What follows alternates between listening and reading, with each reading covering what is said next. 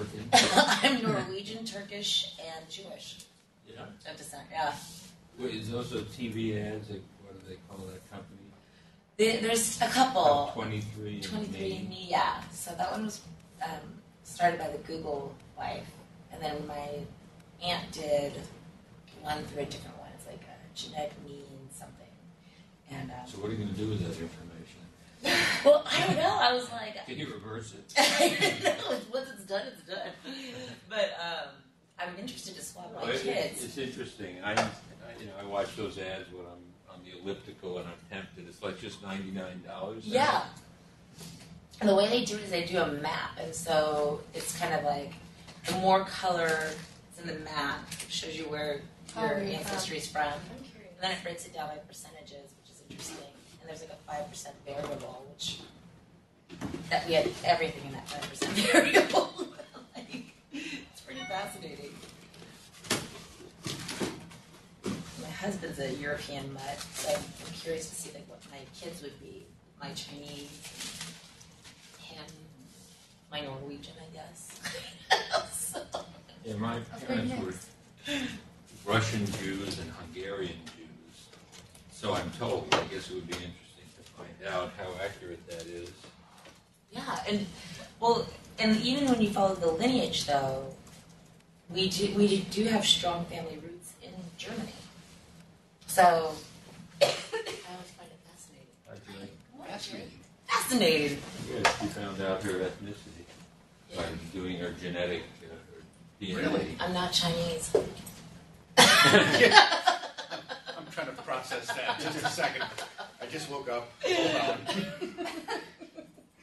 No, on my dad's side, we were told that we were German and English all of our lives. Okay. And when they did the DNA genetic testing, um, our family roots come from Nor- uh, Norway. Really? Yeah, Well, that's kind of Northern European. yeah, So, it's interesting. yeah. And Jewish. Well, Happy New Year. Thank you. Wonder if David Hagen, it- it's five o'clock in the evening, so actually Yom Kippur would end at sundown already over there. Yeah. Is he coming back? I don't know, I'm not sure he knows. Okay. Um, he's wanted back. Yeah, I, I know. I know. Break the fast services start tomorrow night, right? Yeah. Do you mind? Oh, no, I Sit think back they're there. No, no, no. Tonight? We're gonna, at sundown tonight. No one's gonna sit by Oh, the okay. I would think that's usually the way you. Good? I have. I'm actually doing a certifying study today. What does that mean? Jerry, can I ask you something for to interrupt? you? Sure, of course.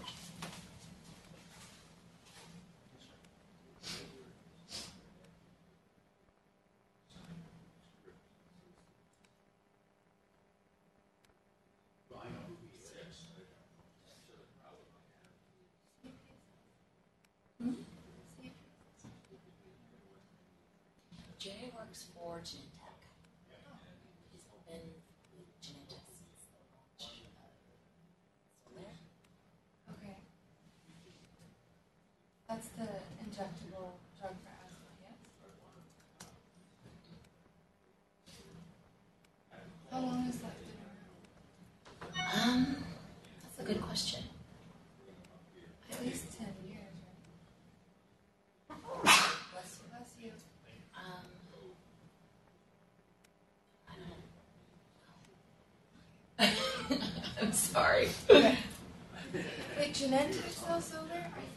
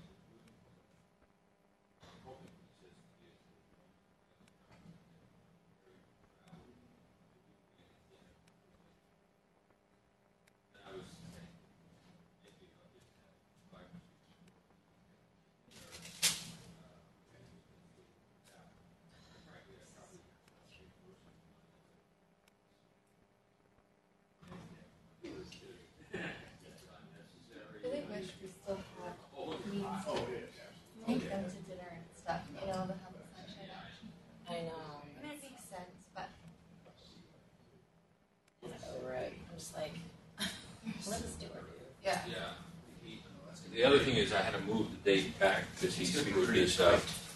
And the schedule is. It's about, I think, a month to six weeks off. I'll get you the date. If, if you don't mind. Yeah, no, That'll help me no. to Yeah. kind of go through things.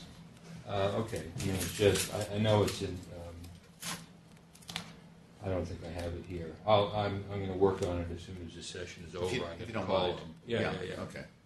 Okay. Um, But odds are, no. Nothing's, nothing good is gonna happen. Yeah, Okay, exactly. so I understand. But uh, I'll do my, you know me, I'll do my best. I'll pick someone's pocket if I can. Everything else good? Uh, yeah.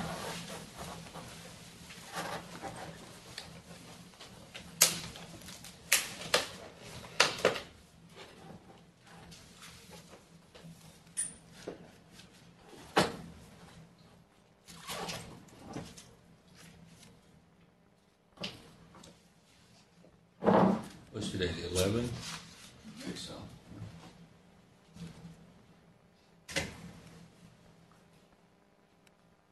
I think actually Yom Kippur starts at sundown tonight. That's what I thought. Yeah. I thought it was Last last Wednesday. night, but tonight, No, I think. according to my calendar, it's tonight, so it'll be tomorrow. So I shouldn't work tomorrow. Um, well, you're, now you're Jewish, you shouldn't work tomorrow. Good morning. Man. Yep. Got a call from your, I guess, nurse? Yeah. Yeah, Steve or Steven? Yeah. Yeah, okay. About costs and things like that. Same with from Drew. And uh, trying to get, Regarding the lawyer. Yeah. Yeah. yeah. You guys are getting the best price ever, other than Indian Health Service. Right. Given the, uh, uh, Yeah, you're four oh three B or whatever it is, is, yeah. Do you need somebody to come by and talk to somebody and, Uh, because it was. talk about, I- well, Just, just reaffirm that, I guess. yeah. is- I think the issue, Did you give a phone number, Matt? No. Sorry about I'm this, our. No, speaker course, is still waiting um, for a ride here, um, which is not what I expected. Where is the speaker? He's at the Grand Hyatt. Oh, downtown. If you want, I can go get Well, him. I've had his phone. I know Dennis uh, Alvarez is supposed promise me he'd have him here by now. So something's a little amiss. Wh- When did they send that email? How long ago? Six forty-five. Two months ago. Um, Forty-five, four minutes ago. What do you want to do? uh, Wait another minute. Okay. I can't believe that the rep who set up his dinner last night is in any way negligent. He must be stuck in traffic. or something. Okay, yeah. It's probably Probably true. waiting, he's right, right? Or, yeah, just a token either, so, okay. Or I, did I think, I Still thought we had, waiting, he said still waiting on pickup from hotel. Title of the email. yeah, is there any more text? Did we open that? Was that the whole Uh, text? Okay, we don't- okay.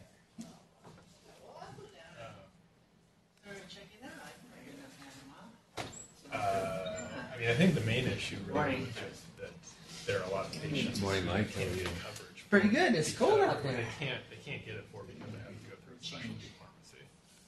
That's, that's been the major issue. Uh, The woman Okay. contact you. No, So what, She hasn't? But She so may- it's not so much have, of the but I've been- clinic I've been running as much as, is, is in the, um, I'll, I'll contact them. She told me she was gonna try and contact University you. over, yeah, it's in the old, Actually, was it, talk to this Cocoa guy Building or about that whatever it too. is. Who is it? Uh, Tell you take that some I don't know, step I don't know outside. that, but it's, it's just that, uh, because our pharmacy won't allow Right. drugs from a specialty Right. pharmacy. brown, they call it Yeah. brown bag. Yeah, okay. Exactly, brown bagging. We've had issues getting it for about a quarter to a third of our patients. Okay. Um, But, uh, you know, we had a, we had a provider meeting with the pharmacist about that about a month ago, and there was, Bacon. Traffic coming down.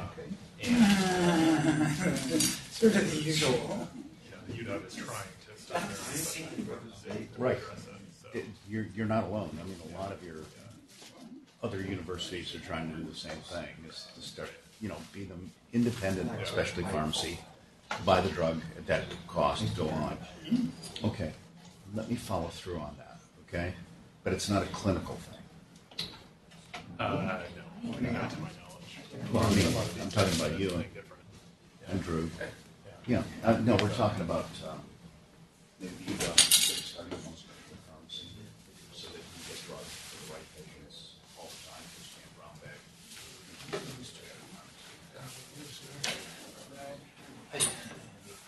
Word of the day, wheezing. We have to probably have someone talk to both of you guys. If you want to defer to last week. What's that? Uh, Well, we, we can chat. It's not, it's not, I haven't had a chance to think about it yet. I don't know how easy it is to do.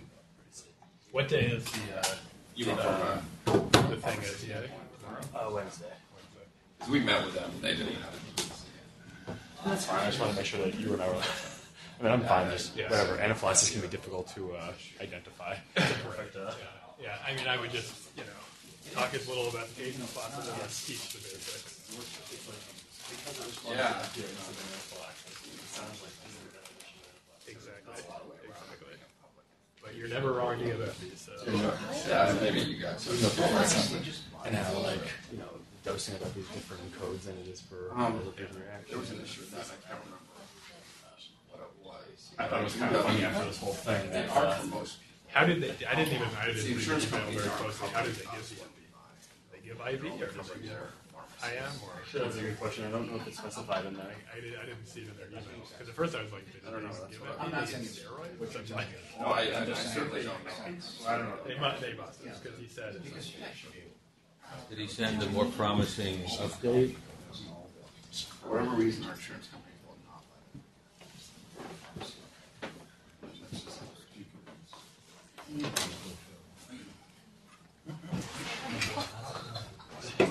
here.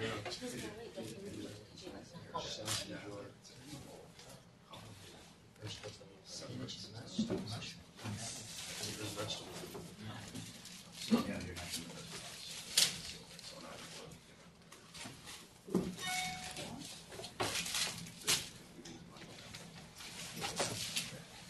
Do me a favor, uh, a girl named, uh, Renee Thanks for the heads up about it. Yeah, sorry. They came out for the I, holiday. I, I really. They came out for the holiday weekend. You All wrapped do. up. I realized we were- I mean, she's the expert in this training. Oh, you mean Columbus Day? not Yeah, Yom come Kippur. on, not young. Okay, so look for her name, I'll, I'll get Yeah. her today, sometime this week. Have they been to Seattle before? Third of that should have. All she They needs came once before, ten minutes of your about two years ago. Show them around town and Exactly. and show them the homeless people everywhere and their neighborhood and my neighborhood. Yeah. Good. On my trenches all on the ground. Yep. Oh, no, yeah, exactly. Good,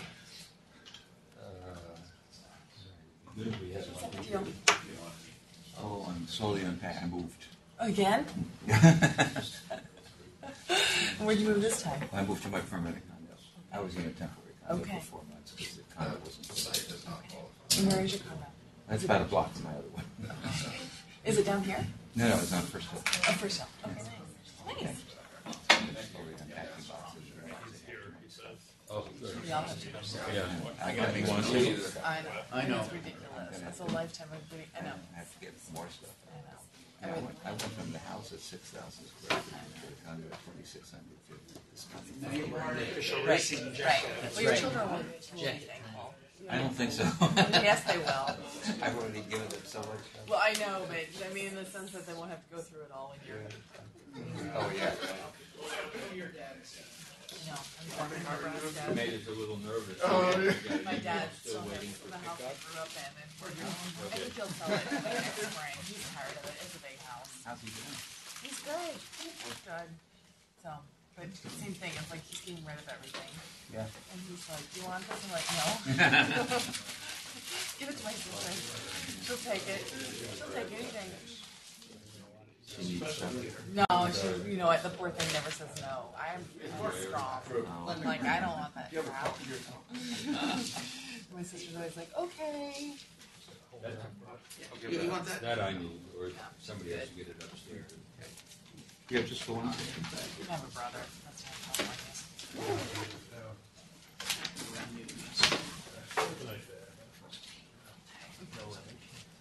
Did you watch the Cubs game last night? I did. I had to How was it? Oh, depressing because they lost. Oh. Went to overtime. I went to bed. I went up to the top of the night. Was so long, and I could stay that late. Slow down. Chicago. Somewhere else. Has no appeal the other night.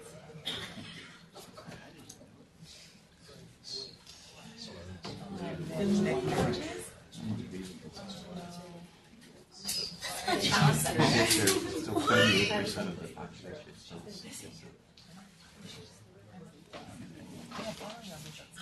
Yeah, I do too.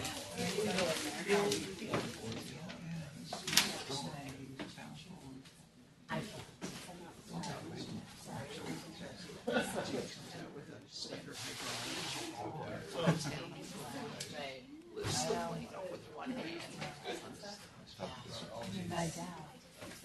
I think I got the right one.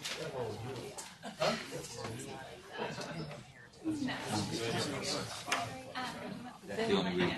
It's the only reason. And so then, Do you have the handout? after this whole thing came out, Over it was- here.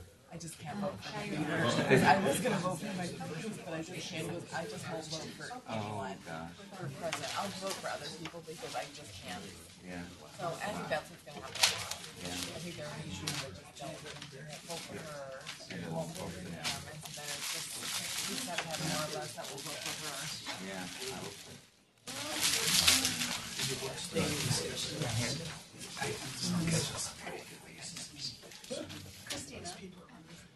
Alright. He just went out. Thanks.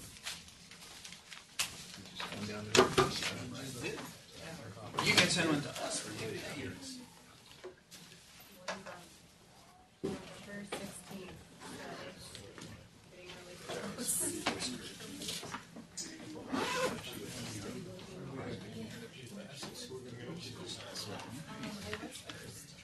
I don't know, we're thinking of moving to Canada.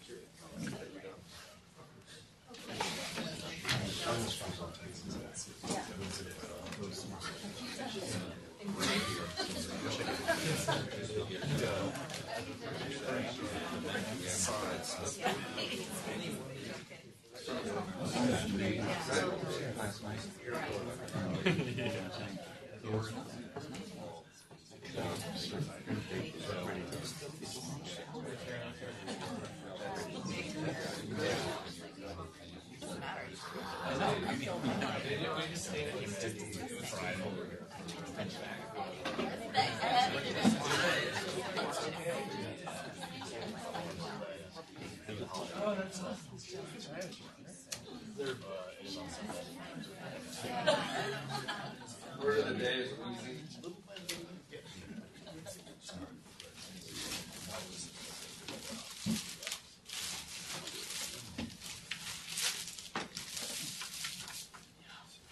Before we get started, can I just make a quick announcement? Yeah. The um, Northwest Allergy Forum is not this weekend, but the following weekend. It's the 22nd and the 23rd, Saturday and Sunday. And um, it's put on by the Washington State Society of Allergy, Asthma, and Immunology. And we alternate our meeting between us and Oregon. So this year happens to be our meeting. And it's at the W. And if you haven't registered, please register. You actually get um, CME through the Academy. And um, we've got Hal Nelson coming, Linda Cox, Eric Macy. Um, those are kind of the big names um, that will be doing some talks. So if you haven't registered or you're interested, um, Nicole Eiseminger is the executive secretary. I think she keeps sending out emails telling people to register. But if you haven't, or if you're confused, then you can ask me. Oh, Okay. all of our fellows, uh, I, they've been they have been notified multiple times. I don't know who's all coming. they get to go for free. They get to go for free, and I think you, the rest of us, all pay a nominal fee. It's mostly just uh, so we have a head count. Yeah, so the fellows, you should definitely go. You're expected to go, so make sure you sign up. Yeah. Okay, thanks. All right, well, we'll do the introduction. Um, and let you know, well, the night that you're flying, flying west, because you're awake, we're all still out of sleep. But uh, there are a couple other dozen people who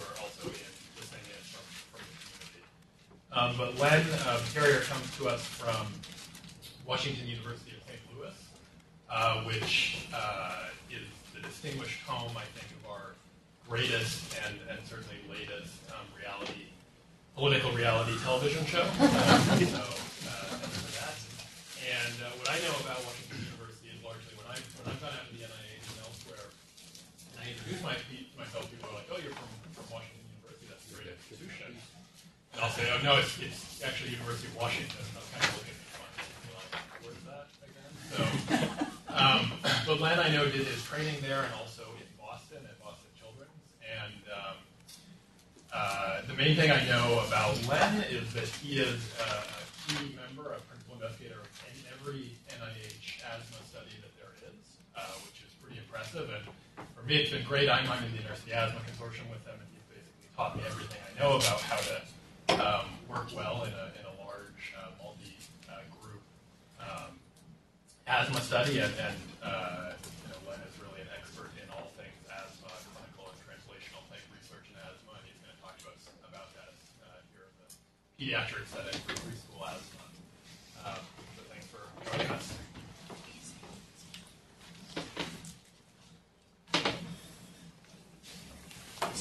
Good morning, and thanks, Matt, for the very kind introduction. And I want you to be very aware that when I introduce myself from Washington University, they say, "Oh, the one in Seattle." I said, "No, oh, the one in Washington D.C." No, no, there's one in St. Louis. So, so it, it's uh, Why is it named Washington University in St. Louis? Just named after George Washington? no, it's named after a different Washington. Another Washington. George George had nothing to do with it. At least If you show them the arch, they know where you came from. So.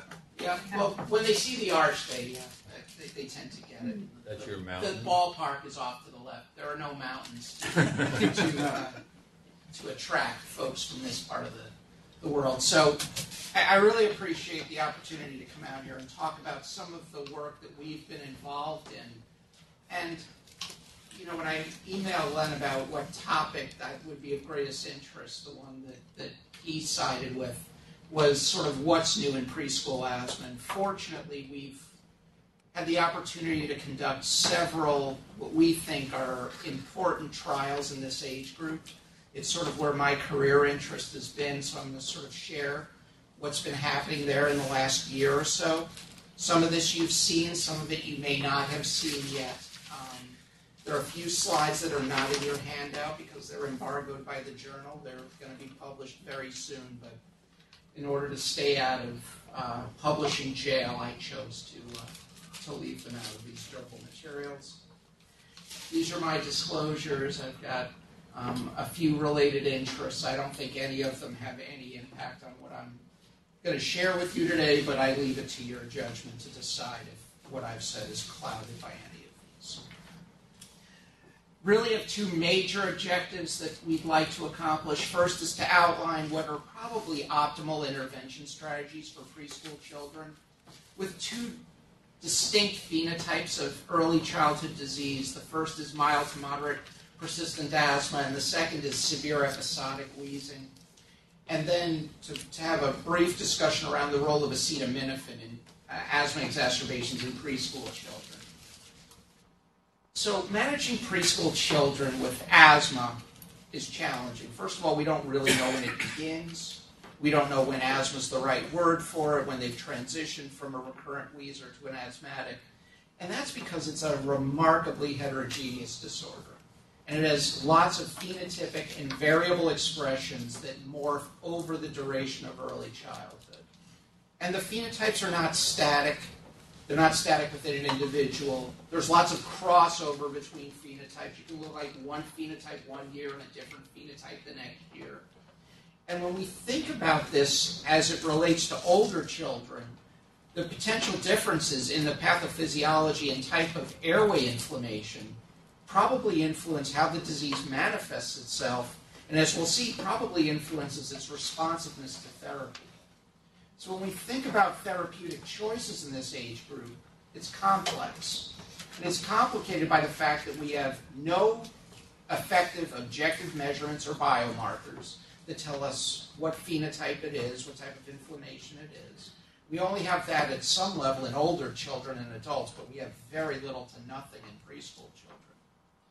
And when we look at the guidelines, even the more up to date GINA guidelines, they're still largely based on extrapolations from findings in the school age population. And what's, what's becoming increasingly clear over time is a lot of those extrapolations are probably wrong. And I can't touch on all of them. I've, I've chosen a few that I think are representative of where the major questions are in this age group um, to share with you today. But when we think about therapeutic responses, and this could be asthma, this could be recurrent wheezing, this could be atopic dermatitis for, for all it matters, what it's reminding us is that there are an awful lot of factors, easily measured or not easily measured, that influence our therapeutic response. And it probably explains why not all of these children behave similarly, why some therapeutic strategies work, why some are, are colossal failures. And I think as we sort of think about what are we doing and who are we doing it to, these factors influence how the, the therapy is received um, by the patient. So I've got sort of a couple of patients that try to put this into context. The first one is a three-year-old boy who has a history of asthma for the first for the past year, and we, we don't need to debate whether or not this is asthma, but we're going to call it asthma. He needs albuterol three days per week. Over the past year, he's had two emergency visits. His treatment is albuterol as he needs it, prednisone during exacerbations, four of those in the past year. Past medical history is that of eczema since four months of age. Family history is notable for a mother with asthma. The physical exam is, is non diagnostic, and skin testing is positive for a cat. It's a reasonable story for an asthma diagnosis. We can presume everything else was done and is non uh, informative. So you look at this child and you ask yourself the question do we recommend daily treatment with an asthma controller? And if so, which one? And it seems like a very simple, straightforward question. Till we look at the guidelines that are our current uh, source of knowledge in the United States, those of 2007, approaching a decade um, old, and we see that this child is probably a step two patient. And it gives us great guidance of low dose ICS as evidence level A and Montelukast as evidence level B. So one might say we should use low dose ICS, right? Well, there are really at least a couple of open questions regarding this decision. daily ICS is evidence A, but do we know if daily ICS is really better than daily Montelukast? We really don't. There are to date no published randomized double-blind placebo-controlled trials in preschool children establishing superiority of ICS over Montelukast. Excuse me. The other option is to think about an as-needed approach of ICS and albuterol just during times of symptomatology, and is that even a strategy to be considered? The guidelines don't even point it out, but the literature does. And is there a best choice for step two care, and if so, for which one?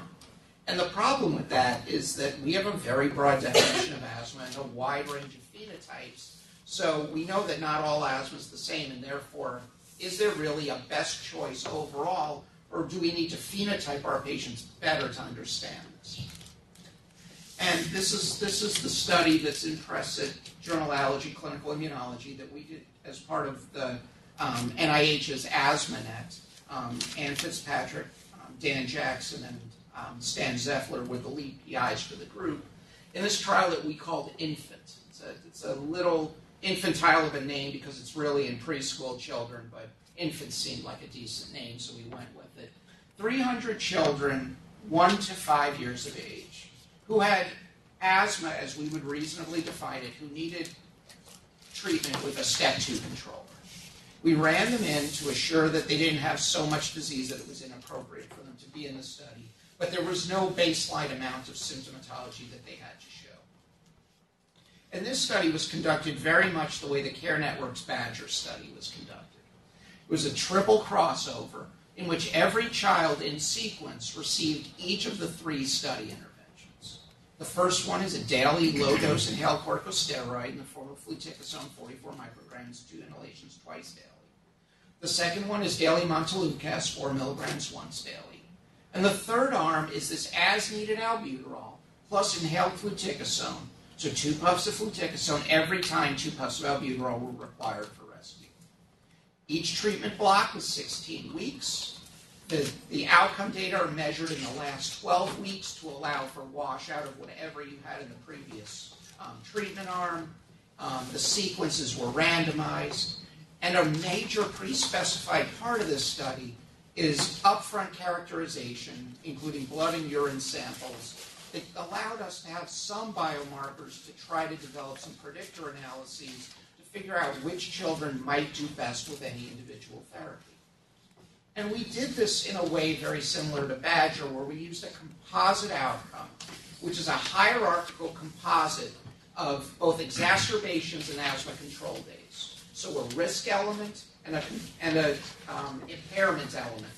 And a, uh, one of the drugs was considered superior to the other if it took you 30 days longer to exacerbate on one drug rather than another, or if you had 30 more asthma control days annualized over a year with one therapy rather than the other. And all of the therapies were compared to each other within children, and every child was categorized as either being a quote unquote having a preferred approach or not. And if you remember in the Badger study, 98% of children had an approach that was the best for them.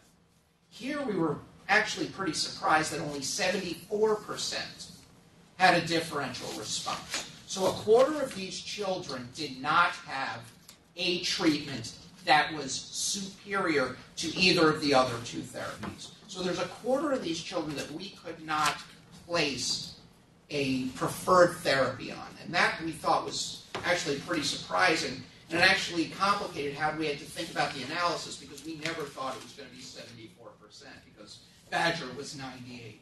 But that's what we had, so we made, we made the very best of it. Here are the primary outcomes. And what we see here is the probability of best response by therapy. So the red is daily ICS, the blue is as needed ICS, and the yellow is um, daily LTRA. And what you see, and the gray bars across the bottom represent the non differential responders spread equally across the three groups. Okay, because we didn't respond, so we just spread them equally. Whoops, I'm sorry. sorry. These are the slides we don't have. These are the slides you don't have. Yes. But if you follow JACI online, you'll, you'll see all of this in the very near future, I promise.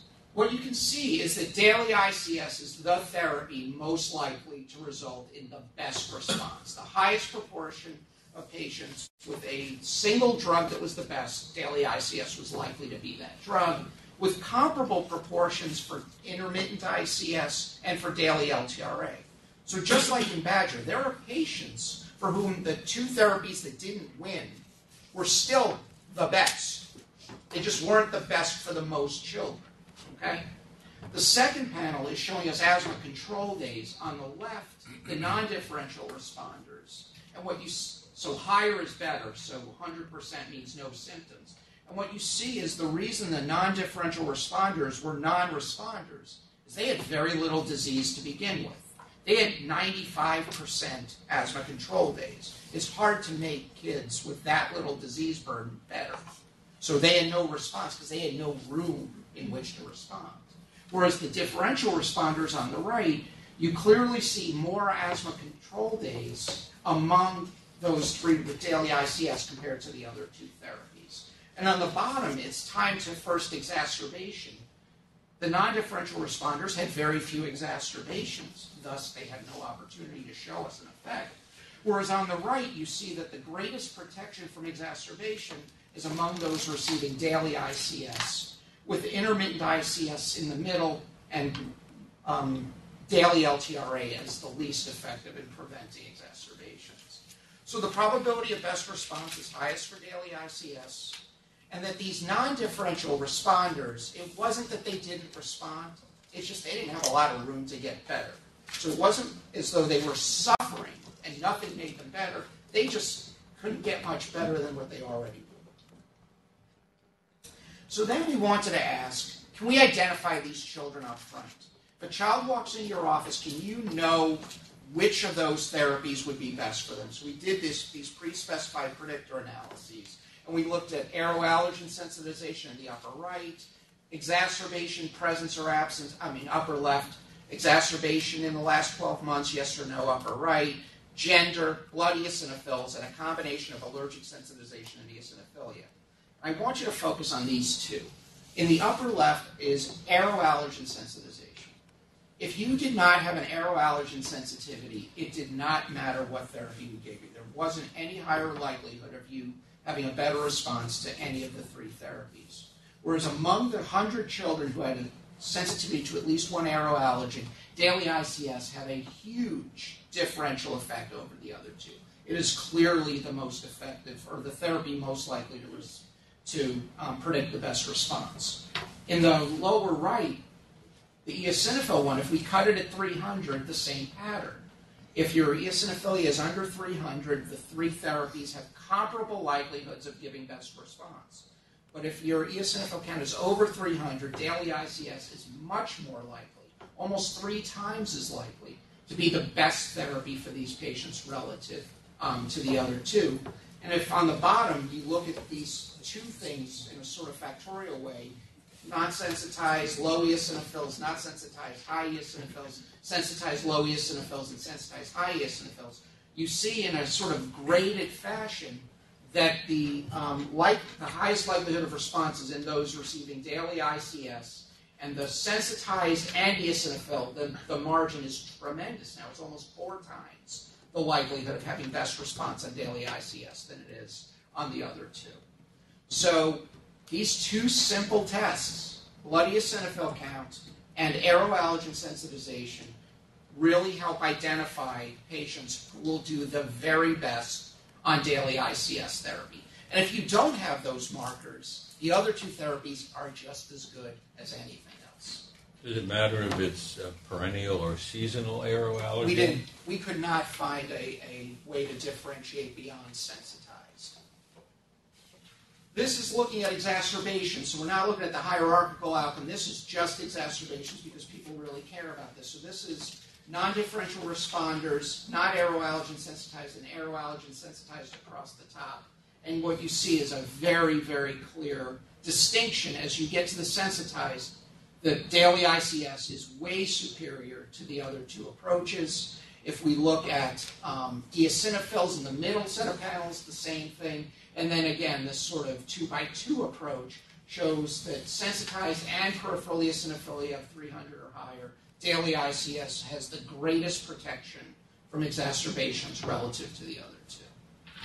So I think we can take away from this is that in these preschool children, if you have aeroallergen sensitization or eosinophilia, first line therapy is daily ICS. And if they're not sensitized or have eosinophilia, you can really choose between these based on parental needs, parental beliefs, and anything else, realizing that the likelihood of response is about the same across the board, and there isn't one that you would have a preconceived idea would be superior. Can I ask before you go on, if you go back to the first data slide you had there, there were a number of individuals who it looked like didn't respond well to any of the three therapies. Um, right there. Yes. Uh, on the, the mid B, the right one. Do Right. you think their disease was just too severe?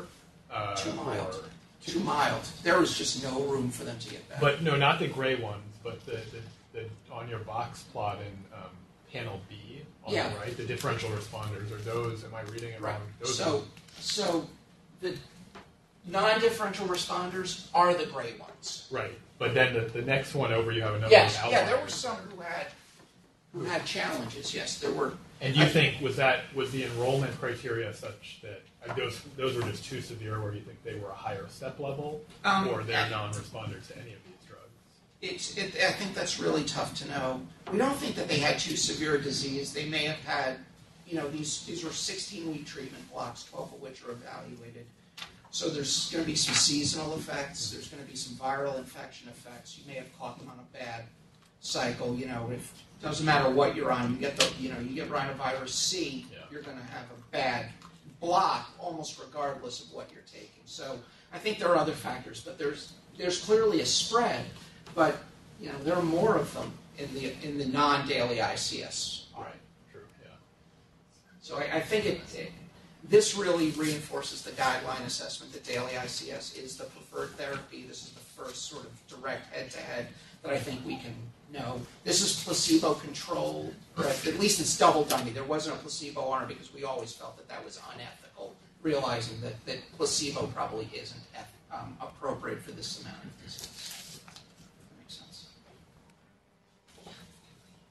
All right, so it's a slight transition, but I think you'll understand why we're going to make it. So we're going to talk about acetaminophen and asthma for a little while, and, and you're going to say, why are we talking about this? Well, acetaminophen is the single most commonly used medication in the United States, number one across the board, more frequent use in young children.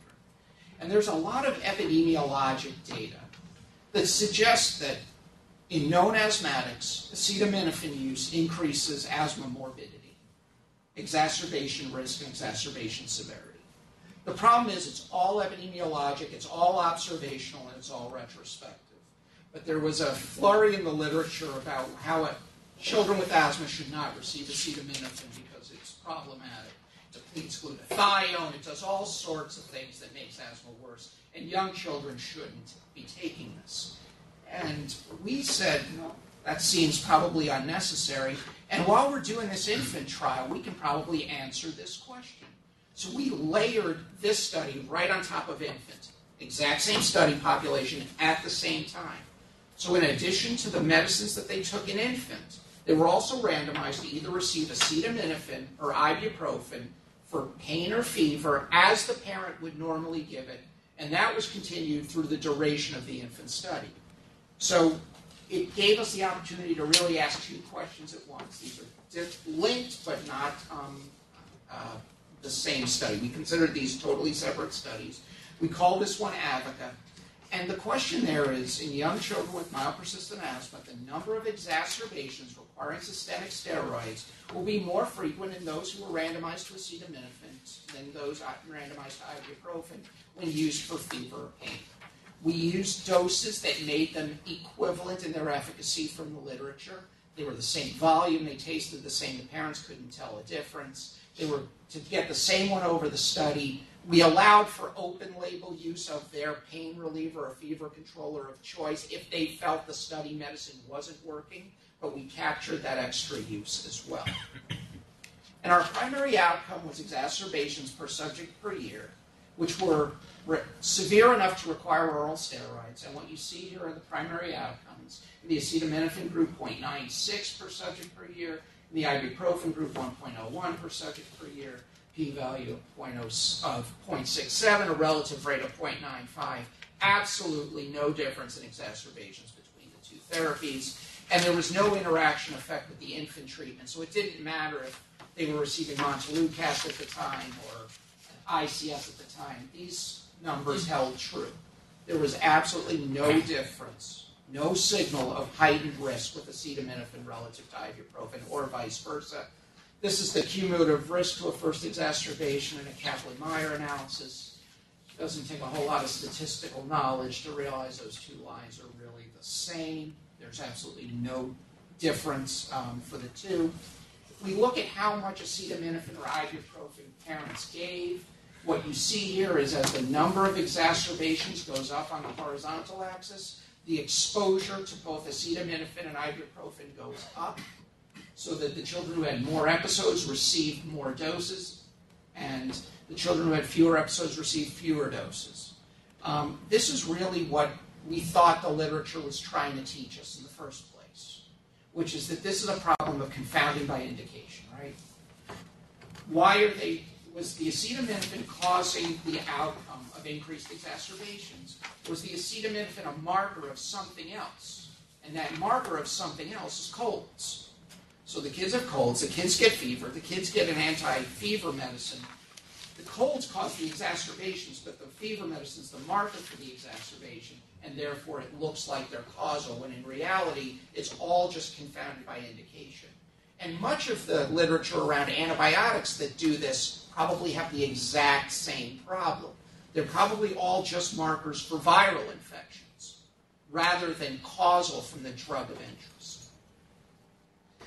If we look at asthma control days, if we look at rescue albuterol use by treatment arm, there's absolutely no difference whether the children were treated with acetaminophen or ibuprofen um, during periods of fever and pain. There's no difference in emergency, urgent care, hospitalization. Absolutely nothing. This is a stunningly negative um, paper.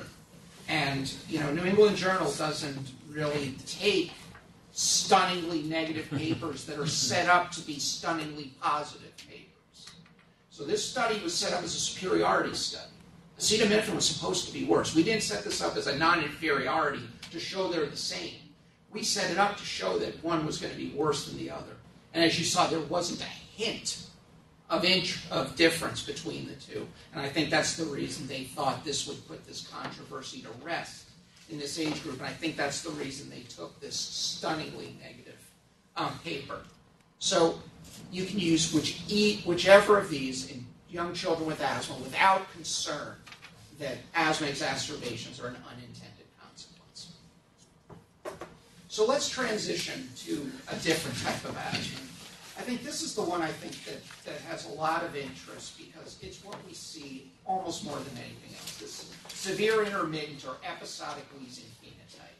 And this is this intermittent but severe disease where they're sick when sick and well when well. But when they're sick, they're really pretty sick. And we have to have something them. It's common, it's all viral driven. Some people call this viral wheeze. There are all sorts of names for it. They're probably all generally the same. And these children are well in between episodes. But there's nothing mild about this disease. The guidelines only talk about one kind of intermittent asthma. They call it mild. I think that's an oversight. I think there's nothing mild about this disease. These children have a lot of morbidity. They have ambulatory visits. They have double the ED visit three times the hospitalization rate to, to non-affected preschool children. So I think this is a big deal, and it's a huge wheezing phenotype that we have to grapple with regularly. So here's a patient to put him into context. Three-year-old boy, three episodes of wheezing in the context of URIs. But different than our first patient, this child has minimal to no symptoms in between these illnesses. You take a detailed, perfect, thorough history, there's nothing. One ED visit in the past year, albuterol as needed, prednisolone during significant exacerbations, three in the past year. Also eczema since four months, also a mother with asthma, also a normal physical exam. In this case, let's assume that he is non-atopic, because those are even more challenging to deal with than if they're atopic. So you see a child like this in clinic, and you ask yourself, does this child qualify for daily inhaled steroids? Does he need it? Will he be any better off for having done it? The mother wants nothing to do with it because the mother realizes this kid's sick three weeks a year. She has no interest in giving 365 days of therapy for 21 days of illness. She thinks that's excessive. We've all met that mother and her sisters and her cousins and her Facebook friends. They all come to clinic. And um, we have to deal with this. And why do we have to deal with this? Well, we have to deal with it because daily ICS therapy in this age group is something parents don't like. Daily ICS are effective. They reduce the rate of severe exacerbations by about 40%. Okay? But they don't completely prevent exacerbations. Adherence with daily ICS is not very good. Maybe it's 40 to 45%. And that's in a trial that measured adherence, It's not real world. In real world, it's probably worse. And parents still know about a small but significant effect of ICS on linear growth, and it may only be partially reversible. So there's a downside to this therapy other than having to actually give it to a, um, a non cooperative little person. So we need other approaches to prevent or attenuate these episodes. Before you go any further, Yes. what do we know about the harm of three courses of steroids in, in this age group in a year? What maybe that's the best strategy. Um, we don't know much about the harm. That hasn't been well studied. But what I wasn't going to show, but we can talk about, is a couple of recent studies that show that the efficacy of oral steroids in this age group is highly questionable. So it's not so clear that the effi- that outpatient episodes benefit at all from oral steroids. So it doesn't seem to attenuate the, the episode's severity. So while there may not be tremendous harm, there isn't clear evidence that there's benefit from it either. It's what we do because we've reached that point of frustration. We say we have to do this. But it's not a reliably effective therapy in this age group. And we've done a couple of studies that really do call into question the efficacy of oral steroids.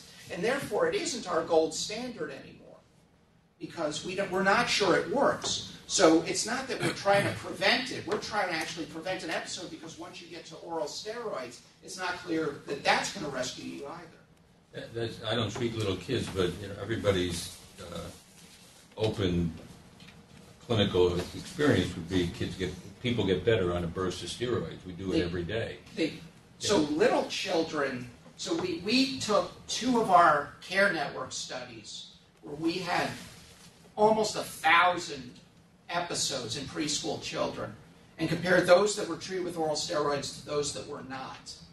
And we propensity weighted because those that were treated tended to be a bit more severe than those that weren't, but there were a lot of pretty substantial episodes that weren't, um, that were severe that didn't receive oral steroids. There isn't a hint of accelerated resolution, not a hint at all. There's an inpatient study that shows absolutely no benefit to oral steroid over placebo. Um, they get better, and it's just you've reached that threshold of frustration, so you give them the oral steroids. But you know, part of our rationale for really studying this is our rescue doesn't work very well, and we need to find ways to prevent the need for rescue rather than the rescue itself. Sure. Your slide before, you said that forty percent reduction in exacerbation, and then only forty percent of people took the drugs. Did anybody look at that group and see if they're the same people? No, they're pulled from different. Oh. They're pulled from different. Just studies. curious, the numbers were pretty much the same. Yeah, no, I, I think there's an interaction there as well.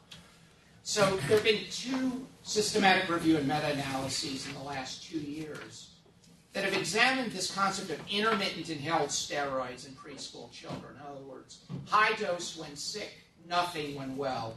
And when you sort of when you combine these, the overall effect is, is in favor of preemptive therapy over placebo. This was a, uh, one done by Francine Ducharme. This is one that we were involved in, um, showing very similar effect sizes in terms of intermittent ICS. But what I think this study brings out is that the number needed to treat to prevent an exacerbation here is six. That is not a very big number needed to treat.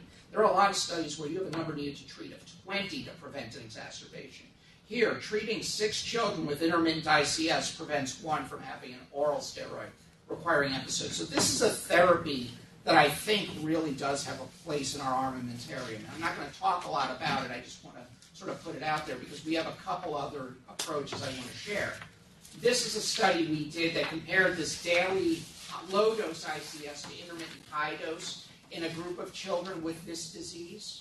It's important to remember that in this study, the MISS study, they're all API positive, so they're all atopic. These are this, this none of this applies to non-atopic children to this.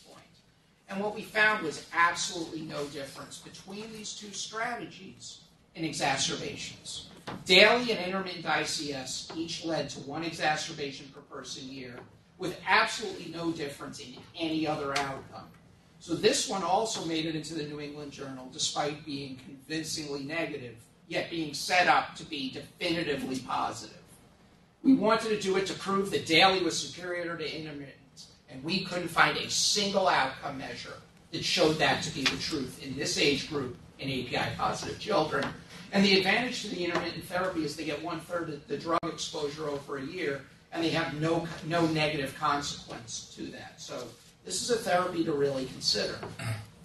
I have a question. Yes. Uh, was there a timing requirement for, in other words, in the study, I'm going to give you the high dose, you know, from onset of symptoms Yeah. to when you do it? Because I I find clinically that's always an issue. Like the parents wait till day six. Right, so I should have mentioned that.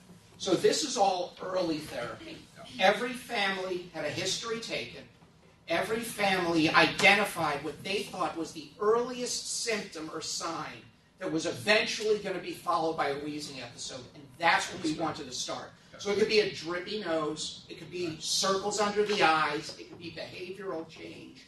We didn't want it to be coughing or wheezing. We thought that's too deep into the into the cycle. Now, did every parent follow that precisely? No. But on the whole, they moved their start point earlier, and that's probably a major factor as to why it's effective. Okay? So, where, how did we get here? Well, daily ICS has a huge literature base supporting it. We've seen that. Intermittent therapies have a smaller number of studies, but they're, be, they're very consistent with one another. Remember, this is all about mild asthma. This has no place in moderate to severe disease in this age group. And the education about when to start these non daily therapies is essential for them being effective. But I'm going to transition to the role of macrolides for the prevention of acute wheezing because I think this is this is different. Okay, we're, we're going to get out of our ICS comfort zone and talk about something that Before, makes people you leave that, uncomfortable. this yes. topic, isn't isn't the uh, availability of beclomethasone and albuterol in some countries? So you're using a PRN albuterol, but you're getting a dose of beclomethasone. Yes. Why don't we have that here? Um, uh, we don't. You're right. Um, and industry at the moment still has no great interest in pursuing that. The, the FDA is part. You know, they're, the FDA has not bought into this as-needed ICS concept. That no drug has an indication to be used the way we're using it. There's the whole smart literature that's very clear that it's effective. We don't have that either. So I think it's an extension of that. But you're right. Beclomethasone albuterol combination exists in many countries. It doesn't exist here. When we need to do it, it's two inhalers, and you got to do Yeah. one and then the other. And it's a little on the clunky side. But on the other hand, if you're willing to tolerate the clunkiness, Oh, yeah. and you're the right type of patient, it's it's a it's a reasonable therapy. All right, so macrolides for the prevention of acute wheezing in young children. So the first statement has to be that ma- antibiotics are not recommended by national guidelines for use in wheezing illnesses. Okay, that's every guideline says that. Every asthma guideline says it, and every infectious disease guideline. Despite that, one in six U.S. ambulatory visits for asthma leads to an an antibiotic prescription. A guideline that's not being followed by much of anybody. Right? Viral infections are the most common trigger of wheeze, but it's also becoming increasingly clear with, with DNA based detection that bacteria actually have an emerging role in the pathogenesis of wheezing disease, especially in young children. And we've known for years that macrolides provide benefits in other inflammatory diseases like cystic fibrosis through mechanisms that don't seem to be related to their ability to kill bacteria. They have some anti inflammatory property that's been poorly characterized, but I think most of us believe exists. So we asked the question would the early administration of azithromycin started prior to the onset of severe lower respiratory tract symptoms, the exact same way we did it with the intermittent ICS, the exact same treatment paradigm, in preschool children with recurrent severe lower respiratory tract illness, prevent the progression of these episodes to need for oral steroids. And this led us to the April trial, which um, was published late last year. And this, I think, is an, an important advance in our understanding of how to manage these children. This is a randomized, randomized double-blind, placebo-controlled, parallel group trial. Children received azithromycin 12 milligrams per kilogram per day, that's the maximum approved dose, or placebo once daily for five days. They started exactly the way we had started the, da- the intermittent ICS in the prior studies. Onset of symptoms that the parents identified as the predecessor to an episode. They had the medicine available at home in a powder. They had a bottle of water. They added the water to the powder. They shook it up. They reconstituted it. And they gave it once a day for five days. They were allowed to do this for up to four episodes over the duration of the study, which was a year and a half. They got the same type of therapy each time. You were allowed up to four, but if you had a severe episode requiring oral steroids, your participation was over. You were a failure. So you could have had this medicine zero, one, two, three, or four times, depending on how many illnesses you had and whether you responded. Albuterol was available four times a day for the first 48 hours and then as needed. Our outcome was the number of illnesses that did not progress to severe or low respiratory tract involvement. So these are the criteria that we said you were having a severe episode and you needed something else. That something else turns out to have been a randomized trial of oral steroid versus placebo. Because we wanted to ask that exact question Does oral steroid rescue these children? The DSMB made us stop that study early because parents and physicians, when the children finally got that sick, were unwilling to accept a placebo assignment and ended up getting a lot of open label oral steroids to rescue them, arguing that that question may never really be effectively answered in a controlled clinical trial because it is so ingrained in the clinical practice that you just can't get people beyond it. It was really shocking to us. Because they all signed consent forms up front saying, we're good with this. But they got this therapy first. They got the azithromycin or placebo. They watched their child progress, and then they were either going to get oral steroid or placebo. And I think everybody said, it's been sick long enough. We're not taking another placebo chance. Give me the real stuff. I don't think the real stuff made any difference, but it did kill a trial that we had very high expectations. Um, the, these are the definitions of a severe illness. More than six albuterols in 24 hours. Three albuterols in an hour didn't make them much better. Needing it more than every four hours. A prolonged exacerbation of at least five days. Urgent emergent care, um, uh, acute care visits, or physician discretion. So I think these are pretty standard criteria for a significant episode. And what we saw was a reduction in the risk of progressing. So these are the four possible RTIs that you can have in the placebo group. You see the number that experienced that RTI and the number that went on to have severe. So 22 during the first illness, 19, 9, and 7, for a total of 57 severe RTIs in the placebo group. The first thing you can see in the azithromycin group is they had the exact same number of illnesses. There's no carryover. They didn't have fewer illnesses going forward. They had the exact same number of illnesses. But the number that went on to severe LRTIs is significantly lower just on first blush. And when you do a, a hazard ratio for the risk of progressing to severe lower respiratory tract illness at the first, the second, the third, or the fourth treated illness, you find an overall hazard ratio of 0.64, or a 36% reduction in risk of having a severe episode if you're receiving azithromycin over placebo. So a third reduction in the risk of of oral steroids if you receive azithromycin relative to placebo, adjusted for site, age, API status, season, um, etc. We then did a pre-specified subgroup analysis to figure out if we could identify which children responded. We did it because we thought that your ability to make IL-8 was relevant and that this drug has effects on IL-8 production. We found no significant difference although the children who had the TT genotype seemed to do better than those with the AA or AT genotype, but it wasn't statistically significant.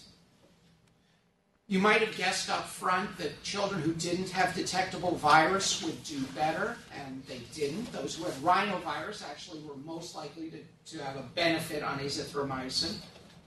Not statistically significant, but they are clearly on the protective side of the curve.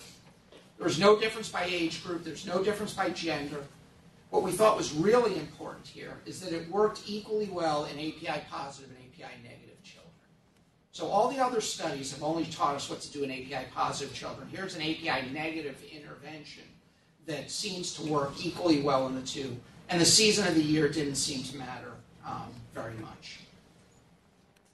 We saw less albuterol use during severe LRTIs, so this was an important finding. It's just another marker that the azithromycin treated children had less severe episodes and therefore less um, albuterol use in the severe episodes. In the non severe episodes, we saw no difference, but remember, we forced everybody to use it four times a day for two days. So there was only, there was a floor effect that we just couldn't get past. So you can conclude from this that azithromycin, if started at the earliest signs of illness, was effective in reducing the risk of episodes. The symptoms were significantly less severe. There was no difference by API status. And, and the therapies were well tolerated with low rates of adverse effects. Everybody wonders about induction of antibiotic resistance and was this terribly harmful and to the bioecology of these children. We measured um, azithromycin-resistant organisms at the beginning and at the end of the study. There was a slight increase in the azithromycin group, group relative to the placebo group, but it was only slight. We saw a lot of fluctuation. There were children who never saw azithromycin during the trial who acquired azithromycin resistant organisms. There were children who received azithromycin who had resistant organisms before they started, whose organisms were gone at the end of the study. So there was no definitive clear pattern. There was a lot of fluctuation. There was a subtle trend toward a slightly higher proportion in the azithromycin treated children, but it was not a major um, finding. A few months later, this group out of um, the COPSAC group um, in Stockholm reported a much smaller double-blind placebo-controlled trial in one to three-year-olds with recurrent asthma-like symptoms. You see here they had 72 children. We had 608. Um, they started azithromycin after three days of symptoms, so not early. They waited for episodes to emerge. They did this or placebo for a total of three days. Almost all of them were receiving concurrent ICS, 60% were receiving LTRA, and they looked at duration of episode um, after the start of therapy, and they saw a 63% reduction in the duration of the episode in the azithromycin group relative to the placebo group, so it was effective in shortening the episode. But then they showed what we knew before they even did the study. The effect was greater the earlier they started it. If you started it before day six of the episode, you had an 80% reduction in duration. If you started after day six, you only had a 25% reduction in duration. Many of those kids were getting better. Our findings, I think, suggest that even earlier has an even greater effect. They found no difference if there was evidence of pneumonia or wheezing or use of ICS. The only bacteria that made a difference is if they had H. flu in the hypopharynx, they did better on azithromycin. They found no difference in the presence or absence of viral infection.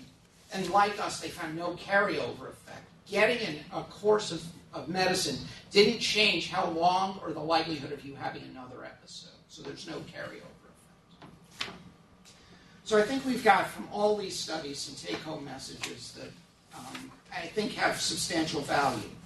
For step two care in preschool children with persistent disease, there's a differential response in three fourths of children and that aeroallergen sensitization and or eosinophilia strongly predict a differential response in favor of daily ICS. Preschool children, this is preaching to the choir for sure, with persistent asthma should be tested for aeroallergen sensitization, and that should drive your decision making toward ICS versus something else. If they're not sensitized, you can choose it based on parent and clinician preferences more so than a clear superior favorite. And if the child does not respond to one of the controllers, and this is what we learned from Badger, and I think it's a really important. Failure to respond to a step two therapy doesn't mean go to step. It needs to go to something else in step two. Because again, three fourths of kids are going to respond to one of those therapies.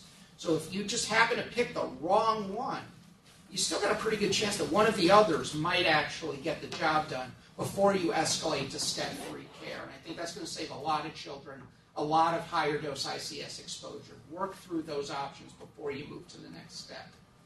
In those who have severe episodic wheeze without evidence of persistence, we think a therapeutic trial of azithromycin early in the course of an illness should be considered to prevent progression to severe illness and need for oral steroids. Those who have a response to azithromycin may benefit from getting this with subsequent illnesses. We talk about this concern for antibiotic resistance, so you don't want to give them 100 courses of this a year. We don't really know what the upper limit is, but keeping an eye on it seems reasonable, and more data are necessary to really understand the clinical importance of these resistant pathogens. But what we don't know is how well this therapy really works on top of daily therapy.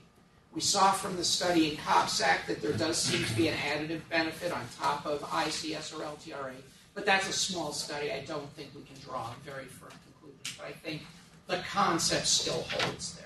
What do we know about azithromycin for other age groups? As an internist, is, should we do this in everybody? I don't think so. There was just a study published in Lancet Respiratory Medicine where they did this in adults presenting to the emergency department, and they randomized them to azithromycin or placebo. I have no idea how they got it into Lancet Respiratory Medicine because they only hit half their target sample size. And they only hit half their target sample size because ev- they had 4,000 people come through, and almost all of them had already been receiving antibiotics, so they couldn't find antibiotic naive people to add antibiotics to. So I think it's more of a commentary to how much antibiotics are being used already in this population than whether they work. They found no therapeutic difference, but they had a huge selection bias because antibiotic use was so prevalent in the community they studied it in that the people who weren't receiving it were clearly different than those who were. So I I don't think we really know where it fits in. I think it still needs to be studied.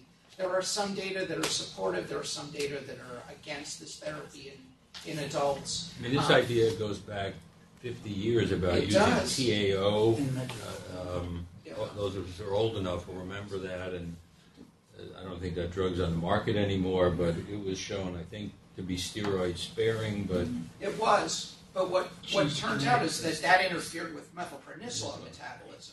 It, whether it was truly a, you know, you were looking for a drug interaction or a therapeutic effect. I think TAO really was a drug interaction. Did you look at the metabolism of the steroids in the people on Zithromax and see if it did affect the kinetics? People have looked, there's really no clear effect. Azithromycin, while being a macrolide, does not have the same P450 effects that the other macrolides do, like clarithromycin or erythromycin do. So there isn't a, we don't think that this is an interaction effect. And in our study, there was no steroid being used at all, so there was nothing to, to interfere with. So I think what we're what we've got is that there's a lot of a lot of heterogeneity in early life wheezing. It adds the complexity to our diagnosis and our treatment. We've talked about the controller approaches as ICS is the preferred therapy. That's where we started. That's where we ended. atopy is clearly a very strong predictor of ICS response. But we have other approaches that are emerging that seem to give us additional opportunities, including episodic and intermittent approaches, especially in atopic children, and azithromycin in early RTIs. And this is important because it's also effective in non-atopic children. So I think it gives us um, an additional strategy that we can employ. This was all, most of this work was done as part of AsthmaNet, um, which unfortunately is winding down its, its life cycle, but it was, uh, I think we've made some substantial contributions to our understanding of preschool asthma. That was our goal going in um, from the pediatric perspective, and I hope that this information has clinical relevance and that you can apply it to your patients and improve their lives. Yes. So with the current push on antibiotic stewardship, how do you justify giving Zithromax for all respiratory infections in little kids? So I don't. So you're not proposing No, no. that we do that? I'm not. But what I'm proposing is that these children have severe intermittent disease. This is not for every little kid who gets a cold. These are for children who need multiple oral steroid courses because they've developed severe low respiratory tract illness that we don't have a good therapy for, that, are, that is on the pathway to asthma, that leads to missed days of school, missed parental work, and for our, that our regular therapies are inadequate at preventing or minimizing. And in those children, there is a therapeutic advantage to receiving this therapy. You want to get the right population, you want to know that they have enough disease to warrant whatever risk this brings. But this is a group that is underserved by our currently available therapies. We don't have much to give them. People have no hesitation giving them four courses of prednisone a year. But to give them two courses of Zithromax is heresy. And, and, and, and that's a real, you know, these are children who have a, a real problem. We have a therapy that works, and we have a therapy that we have no convincing evidence works. So I, I- think we're coming out on the side of we have evidence that says this works. There's a potential downside, but they're getting it anyway. We might as well apply it appropriately. Try to get the inappropriate use out, but to say that we don't want to use it because of all of this antibiotic concern we have, I think is a, is a difficult balance that we're trying to find the sweet spot on. Um, your point is very well taken, but I think it's, it's really making sure the patients have enough disease to warrant it, but if they have enough disease, it's an appropriate thing to consider. I have a question. We have, as you know, a virtual audience. Chuck Jackson. I think I know what he's asking here. Here's what he typed. How has possible antibiotic effect of azithromycin as a possible explanation of benefits been ruled out. So I guess he's It has. asking, is it working as an antibiotic or an anti-inflammatory? Um, the, the flippant answer is yes. um, we are trying to tease that out. It is not an easy thing to tease out in clinical medicine. So we have nasal samples during all of these illnesses. We've recovered viruses from the 85% that you would expect. We did PCR and we found bacteria in a huge proportion of these as well. We're trying to figure out if it is an antibiotic or an anti-inflammatory or both. The problem is, using the DNA-based techniques, you can't tell the difference between a live bacterium and a dead bacterium. To a PCR machine, they're the same. So they keep showing up even in the day four samples. But we don't know if they're just remnants of bacteria we killed or they're still alive. We just don't know. There's a lot of work still going on trying to tease out what mechanism by which this occurs. What would have been fascinating is to do this study as a three arm study, would have required 900 instead of 600 patients. But you put a third arm of augmentin, okay? Similar antimi- antimicrobial spectrum, but with nobody has any sense that that has anti-inflammatory properties. That's just a straightforward bactericidal antibiotic. But the other question is, are we talking about it conventional pyogenic bacteria, are we talking about things like mycoplasma? So we found no mycoplasma and no chlamydia in this study, even on day zero samples. So I don't think that's what it is. Every time I give this talk, the mycoplasma aficionados say, You're just killing. These are not all mycoplasma infections. In fact, none of them. We found zero with confirmed mycoplasma. So I, I don't think that's how it's working.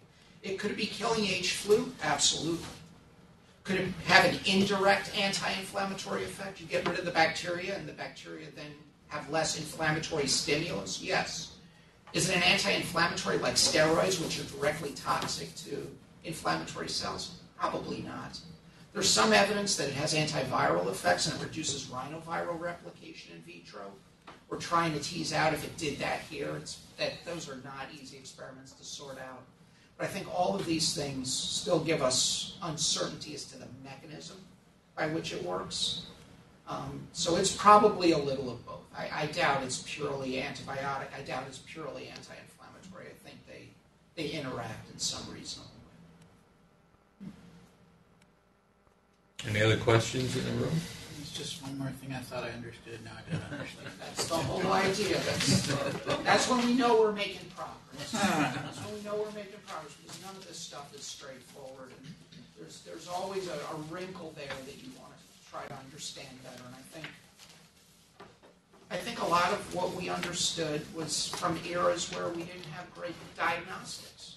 You know, we, you know, with, with PCR-based detection of bacteria, there's a lot more bacteria at work in the airway than we ever thought.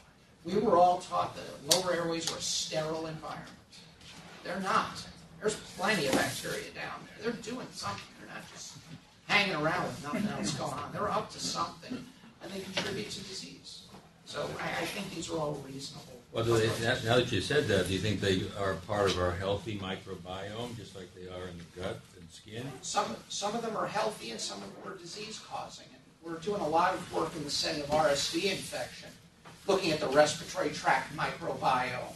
And it's clear that the bacteria that you have down, in or at least in your upper airway during acute RSV illness, influences your likelihood of that RSV illness turning into eventual asthma or not.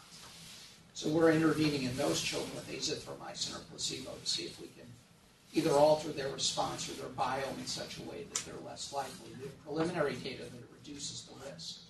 So, yes, absolutely. Does anybody treat prophylaxis kids with just azithromycin every day for a year and look at asthma exacerbations in them versus intermittent treatment? Nobody has. Nobody has. You know, could you adopt the CF model of azithromycin three times a week? Maybe. I think that has much greater antibiotic resistance concerns than this does. You know, those are the that's the strategy more likely to build a resistant organism than uh, you know a therapeutic course over a defined period of time. And this way, you only take it when you need it. You don't, you know, if you're well or you're outgrowing it, you're not taking it. Because again, there's some, you know, just natural history that's going to evolve in these children. Some of them are going to just get better.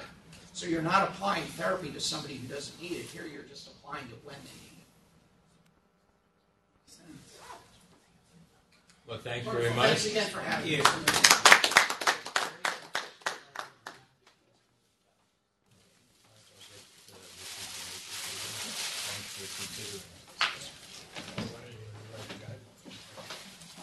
And then I, when I sent that lady's email to you, can you just download it? Well, I'm just letting her contract. My job is to hit people up. You're good at that, man. But it's a good cause. I can talk to you about it. too.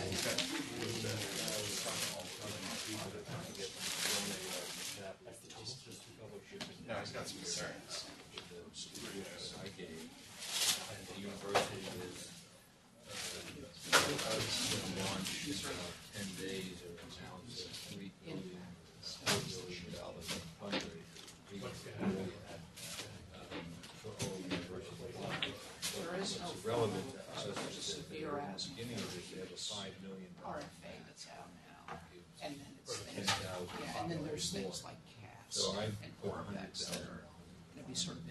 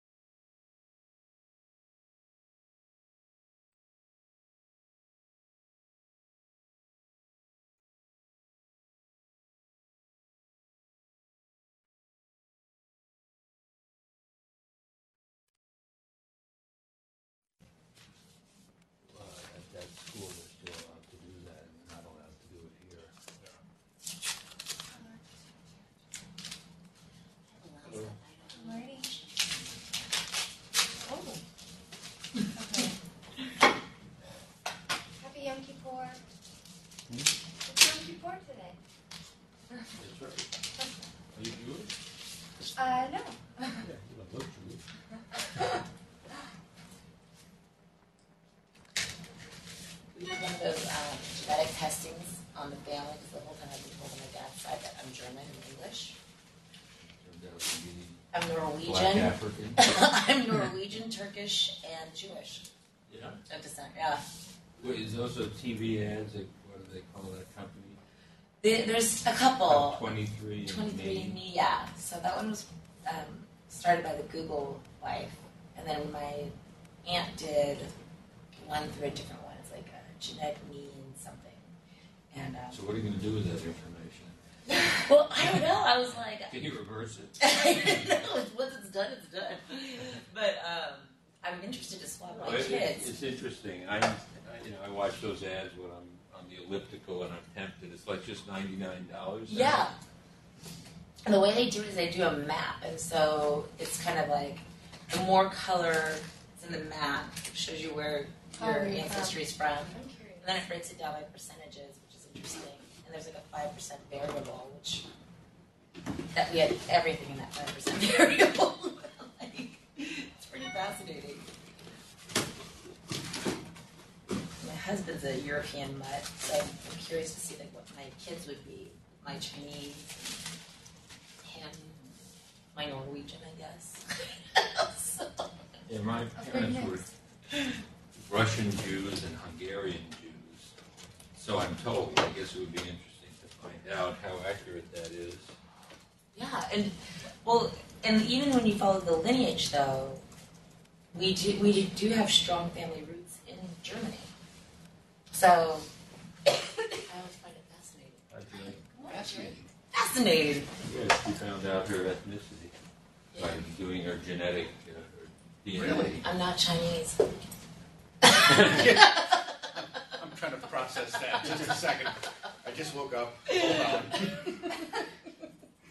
no, on my dad's side, we were told that we were German and English all of our lives. Okay.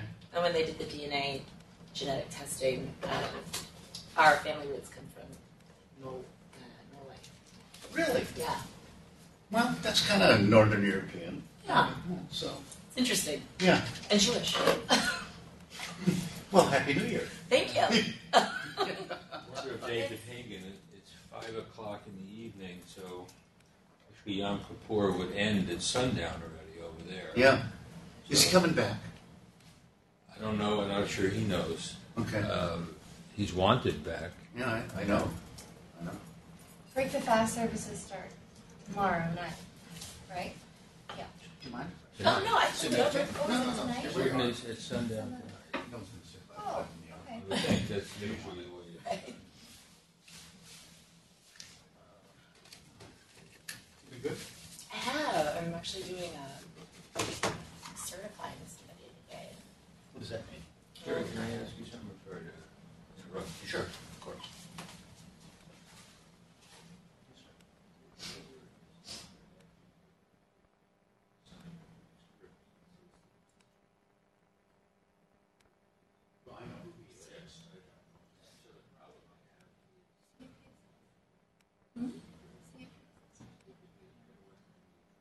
Jay works for Genentech. He's been with Genentech since the launch of Xolair.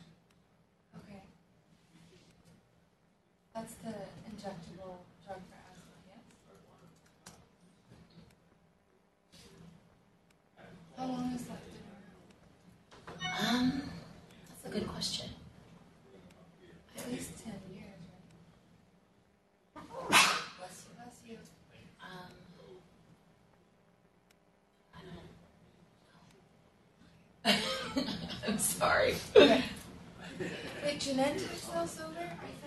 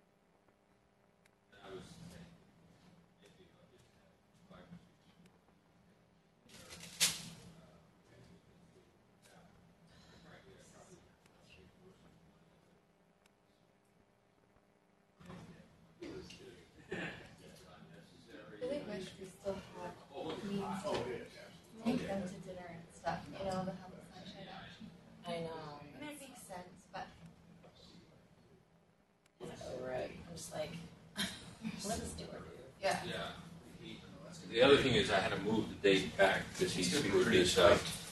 And the schedule is in here. It's about, I think, a month to six weeks off. I'll get you the date. If, if you don't mind. Yeah, no, That'll help no. me to Yeah. kind of go through things. Uh, okay, I mean, it's just, I, I know it's in, um, I don't think I have it here. I'll, I'm, I'm gonna work on it as soon as this session is over. If you, I'm if you gonna don't call mind. him. Yeah, yeah, yeah. Okay.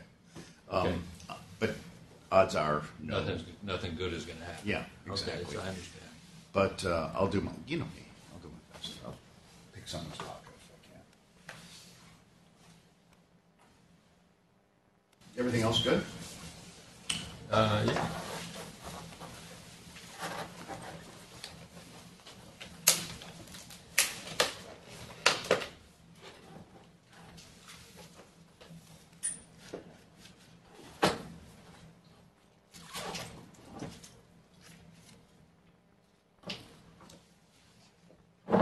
What's today, the eleventh? I think so.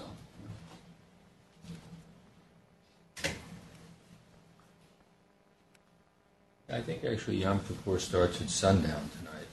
That's what I thought. Yeah. I thought it was last Wednesday. night, but tonight, you No, think? According to my calendar, it's tonight, so it'll be tomorrow. So I shouldn't work tomorrow. Um, well, you're, now you're Jewish, you shouldn't work tomorrow. Good morning. Man. Yep. Got a call from your, I guess, nurse? Yeah. Yeah, Steve or Steven? Yeah. Yeah, okay. About costs and things like that. Same with from Drew. And uh, trying to get. Regarding the lawyer? Yeah. Lawyer, yeah. Yeah. You guys are getting best price ever, other than Indian Health Service. Right. Given the, uh, uh, Yeah, you're at 403B or whatever it is, yeah. Do you need somebody to come by and talk to somebody and? Uh, Because it was- talk about, what's, I- Just, just reaffirm that, I guess. yeah. I think the issue, Did you give a phone number, Matt? No. Sorry about I'm this, our. No, speaker is still waiting um, for a ride here, um, which is not what I expected. Where is the speaker? He's at the Grand Hyatt. Oh, downtown. If you want, I can go get Well, I've had his phone. I know Dennis uh, Alvarez is supposed to promise me he'd have him here by now. So something's a little amiss. Wh- When did they send that email? How long ago? Six forty-five. Two months ago. Um, Forty-five, four minutes ago. Okay. What do you want to do? uh, Wait another minute. Okay. I can't believe that the rep who set up his dinner last night is in any way negligent. He must be stuck in traffic. or something. Okay, yeah. it's probably Sure. he's waiting,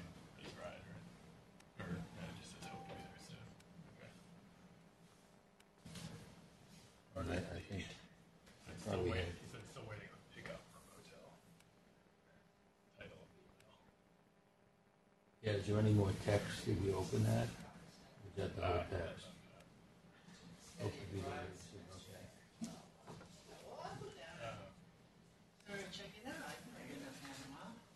Uh, I mean, I think the main issue really is that there are a lot of patients. Morning, Mike. can't get coverage. Pretty good. It's cold out there. They can't, they can't get it for because they have to go through a specialty pharmacy. That's, that's been the major issue. The woman Okay. contact you. No, So what, She hasn't?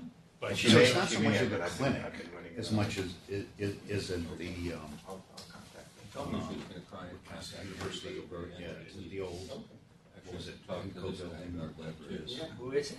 Uh, Tell you take, have some coffee. I don't know, step I don't know, outside. but it's, it's just that, uh, because our pharmacy won't allow drugs from a specialty Right. pharmacy. brown, they call it Yeah. brown bag. Yeah, okay. Exactly, brown bagging. We've had issues getting it for about a quarter to a third of our patients. Okay. Um, But, uh, you know, we had a, we had a provider meeting with the pharmacists about that about a month ago, and sure, there was, Eight. Eight. There's traffic coming down. Sort of the usual. you know, UW is trying to start their own specialty pharmacy to Right. it, You're, you're not alone. I mean, a lot of your other universities are trying to do the same thing, is to start, you know, be them independent especially pharmacy, buy the drug at that cost, go on. Okay, let me follow through on that, okay? But it's not a clinical thing. Uh, no, not to my knowledge. Well, I mean, I'm talking about you Something different. and Drew. Yeah, uh, no, we're talking about, um, maybe you got starting a specialty pharmacy so that you get drugs for the right patients all the time, just can't run back.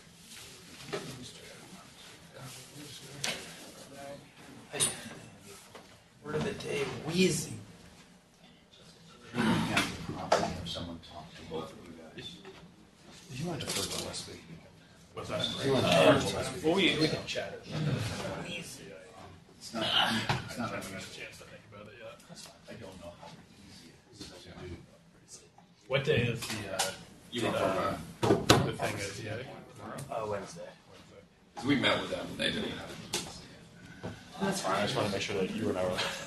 I mean, I'm fine. Just Yeah. whatever. Anaphylaxis can be difficult to uh, identify. It's perfect. Uh, Yeah, I mean, I would just, you know, talk as little about the patient as possible and just teach the basics. Yeah. Exactly, exactly. But you're never wrong to get these, so. Yeah, maybe you guys. and how like you know dosing might be different in codes than it is for Um, other patient reactions. There was an issue with that, I can't remember what it was. I thought it was kind of funny after this whole thing. They are uh, for most people. How did they, I didn't even, I didn't The read the insurance email very closely. How did they give probably the NP? They give IV or did they give IM or? Sure, that's a good question. I don't know if it's specified in there. I, I didn't, I didn't see it in their email. Because at first I was like, did I don't know, they that's give what it? I'm not Maybe saying it's it's- steroids? which I'm I'm like- like, No, I, I I certainly don't know. I don't know. They must, they must, because he said. Did he send a more promising update? For whatever reason, our insurance company will not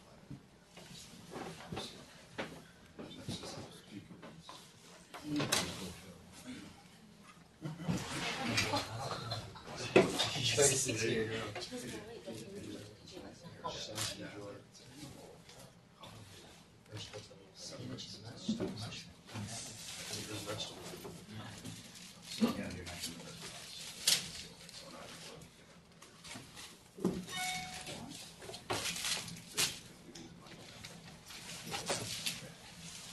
me a favor, uh, a girl named, uh, Renee Thanks for the heads up.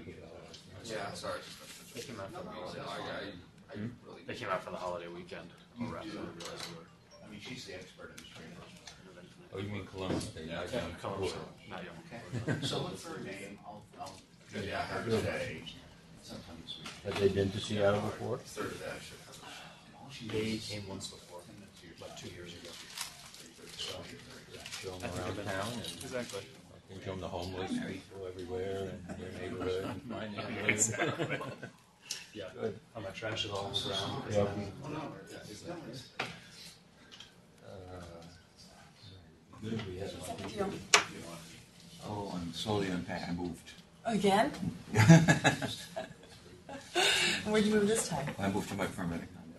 I was in a temporary condo Okay. for four months because the condo wasn't. Site does not qualify. And where is your condo? That's about a block from my other one.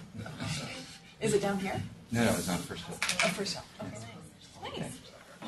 Slowly unpacking boxes. Oh, good. We all have to. Yeah.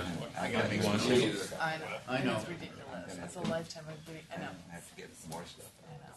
I I mean, went, I went from the house at six thousand square feet to a condo at twenty-six hundred fifty. This condo- right, right. Well, your children will, will be thankful. I don't think so. Yes, they will. I've already given them so much. Well, I know, but I mean, in the sense that they won't have to go through it all again. Oh, yeah. You know, I'm born in Nebraska. Made us a little nervous. Oh, We got My email dad's Still still waiting for the house I pickup. grew up in, and we're going. I think he'll sell it next spring. He's tired of it. It's a big house. How's he doing? He's good. He's good. So, but same thing. It's like he's getting rid of everything. Yeah. And he's like, "Do you want this?" I'm like, "No." Give it to my sister. She'll take it. She'll take anything. She needs something. No, she, you know what? The poor thing never says no. I'm, I'm strong. I'm like, I don't want that crap. my sister's always like, okay. You you want that? That I need, or somebody has to get it upstairs. Yeah, just the one. I have a brother. That's why I call him like this.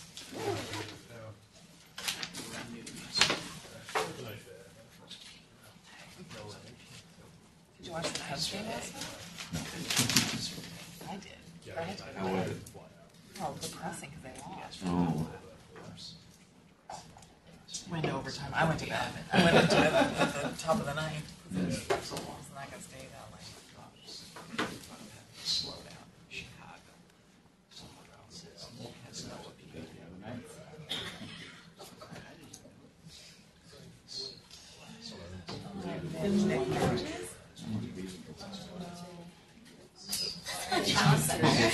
So thirty-eight percent of the population still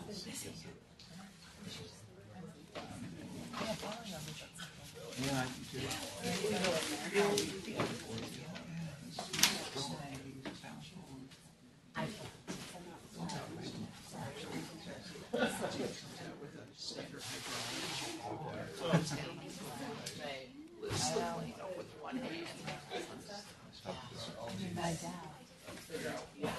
I think I got the right one.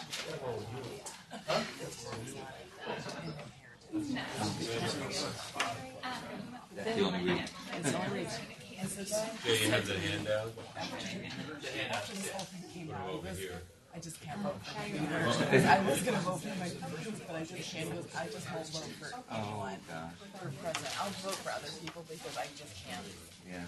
So I think that's what's gonna happen a lot. Yeah. I think there are people that just don't vote for her, or won't vote for him, um, and so then it's just, we just have to have more of us that will vote for her. Yeah. I hope so. Christina. He just went. Thanks.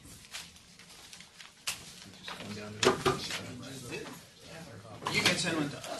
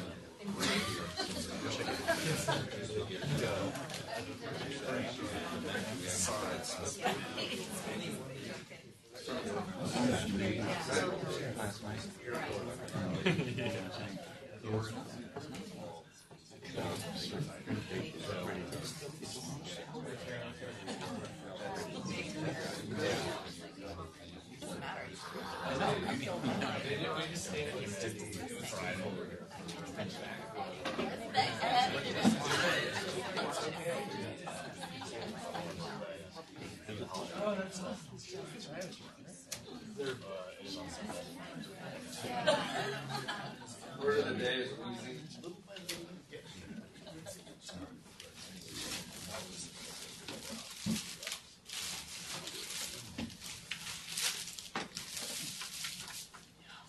know, Before we get started, can I just make a quick announcement?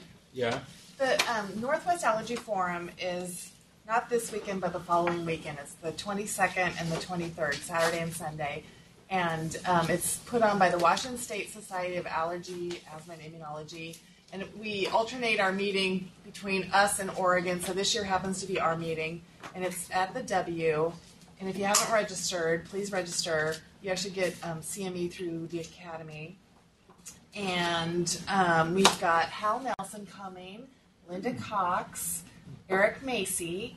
Um, those are kind of the big names um, that will be doing some talks. So if you haven't registered or you're interested, um, Nicole Eiseminger is the executive secretary. I think she keeps sending out emails telling people to register. But if you haven't, or if you're confused, then you can ask me.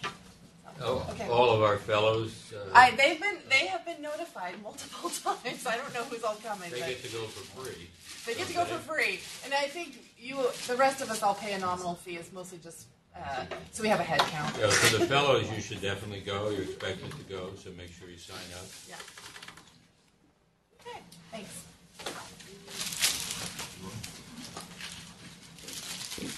Well, we'll do the introduction, um, and let you know, well, it's nice that you're flying, flying west, because you're awake, we're all still half asleep, but, uh, there are a couple other dozen people who are also in, listening in from, from the community. Um, but Len uh, Carrier comes to us from Washington University of St. Louis, uh, which, uh, is the distinguished home, I think, of our greatest and, and certainly latest, um, reality political reality television show. Uh, that. And uh, what I know about Washington University is largely when I when I've gone out to the NIH and elsewhere, and I introduce my, I'll say, "Oh no, it's, it's actually University of Washington." And I'll kind of look at and like, "Where's that again?" So, um, but Len, I know, did his training there and also in Boston at Boston Children's, and um, uh, the main thing I know about Len is that he is uh, a key member, a principal investigator in every NIH asthma study that there is, uh, which is pretty impressive. And for me, it's been great. I'm on the Inner-City Asthma Consortium with him, and he's basically taught me everything I know about how to um, work well in a, in a large uh, multi-group um, asthma study. And, and uh, you know, Len is really an expert in all things asthma, clinical and translational type research in asthma, and he's going to talk to us about that uh, here in the pediatric setting for preschool asthma. Um, so thanks for joining us.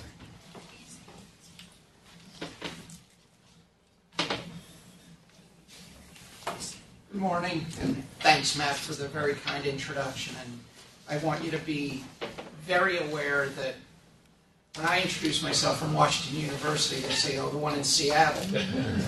I said, "No, oh, the one in Washington D.C." No, no, there's one in St. Louis. So, so it, it's uh, Why is it named Washington University in St. Louis? Just named after George Washington? no, it's named after a different Washington. Another Washington. George George had nothing to do with it. At least if you show them the arch, they know where you came from. So. Yeah, well, when they see the arch, they, uh, they, they tend to get it. That's your mountain. The ballpark is off to the left. There are no mountains to, to, uh, to attract folks from this part of the, the world. So I, I really appreciate the opportunity to come out here and talk about some of the work that we've been involved in. And, you know, when I emailed Len about what topic that would be of greatest interest, the one that, that he sided with was sort of what's new in preschool asthma. And fortunately, we've had the opportunity to conduct several what we think are important trials in this age group. It's sort of where my career interest has been, so I'm going to sort of share what's been happening there in the last year or so. Some of this you've seen, some of it you may not have seen yet. There are a few slides that are not in your handout because they're embargoed by the journal. They're going to be published very soon, but in order to stay out of uh, publishing jail, I chose to uh, to leave them out of these durable materials. These are my disclosures. I've got um, a few related interests. I don't think any of them have any impact on what I'm going to share with you today, but I leave it to your judgment to decide if what I've said is clouded by any. Really have two major objectives that we'd like to accomplish. First is to outline what are probably optimal intervention strategies for preschool children with two distinct phenotypes of early childhood disease. The first is mild to moderate persistent asthma, and the second is severe episodic wheezing. And then to, to have a brief discussion around the role of acetaminophen in uh, asthma exacerbations in preschool children. So, managing preschool children with asthma is challenging. First of all, we don't really know when it begins. We don't know when asthma is the right word for it, when they've transitioned from a recurrent wheezer to an asthmatic. And that's because it's a remarkably heterogeneous disorder. And it has lots of phenotypic and variable expressions that morph over the duration of early childhood.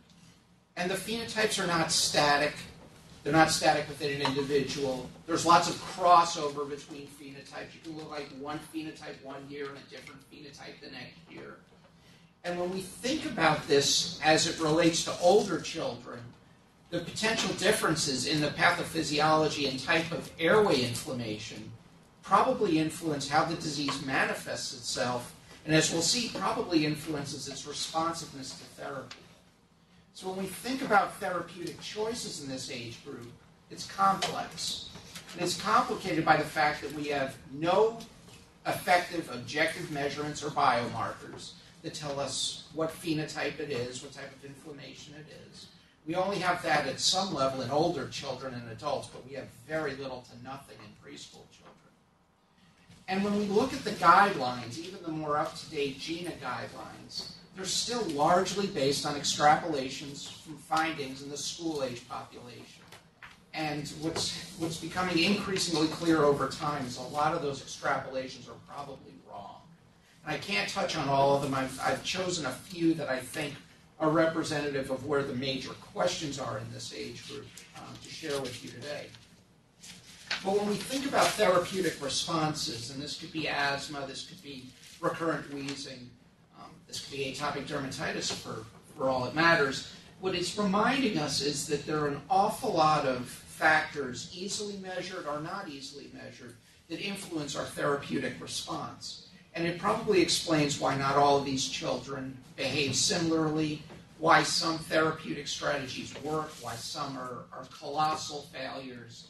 And I think as we sort of think about what are we doing and who are we doing it to, these factors influence how the, the therapy is received um, by the patient.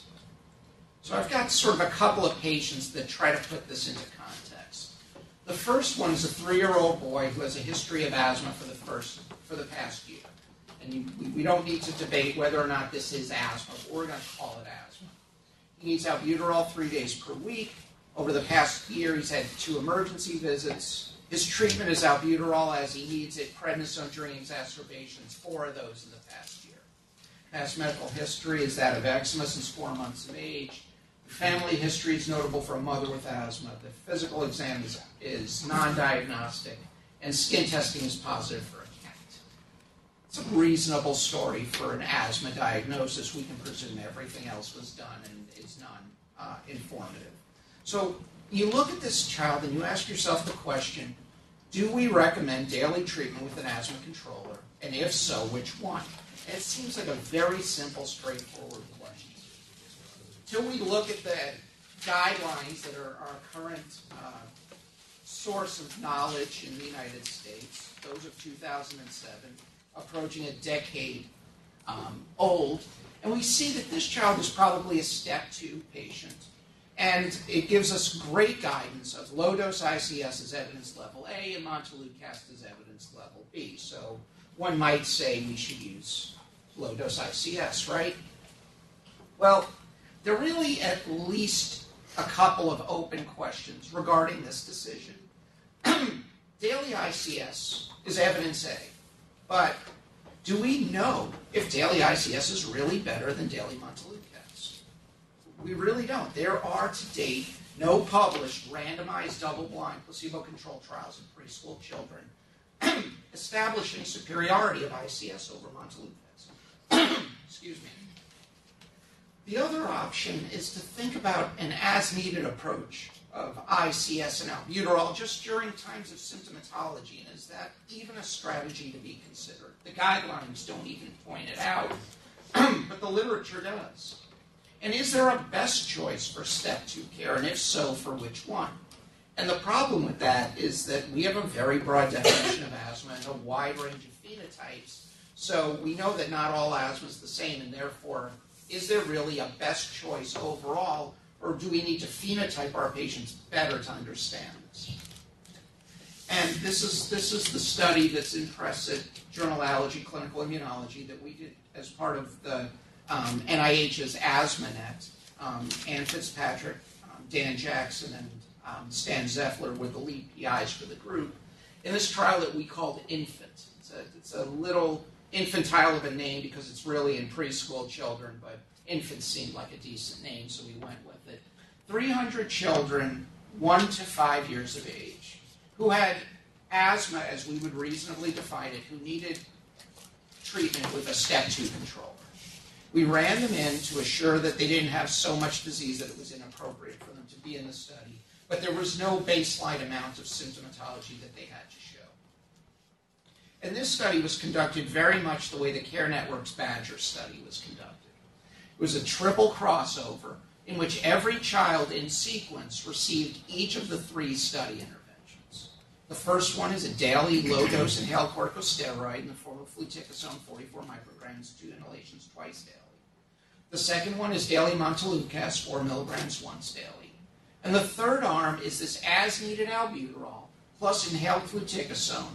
So two puffs of fluticasone every time two puffs of albuterol were required for rescue. Each treatment block was 16 weeks. The, the outcome data are measured in the last 12 weeks to allow for washout of whatever you had in the previous um, treatment arm. Um, the sequences were randomized. And a major pre-specified part of this study is upfront characterization, including blood and urine samples, that allowed us to have some biomarkers to try to develop some predictor analyses to figure out which children might do best with any individual therapy. And we did this in a way very similar to Badger, where we used a composite outcome, which is a hierarchical composite of both exacerbations and asthma control days. So a risk element and a, and a um, impairment element. And a, uh, one of the drugs was considered superior to the other if it took you 30 days longer to exacerbate on one drug rather than another, or if you had 30 more asthma control days annualized over a year with one therapy rather than the other. And all of the therapies were compared to each other within children, and every child was categorized as either being a quote unquote having a preferred approach or not. And if you remember in the Badger study, 98% of children had an approach that was the best for them. Here we were actually pretty surprised that only 74% had a differential response. So a quarter of these children did not have a treatment that was superior to either of the other two therapies. So there's a quarter of these children that we could not place a preferred therapy on. And that we thought was actually pretty surprising. And it actually complicated how we had to think about the analysis because we never thought it was going to be 74% because Badger was 98.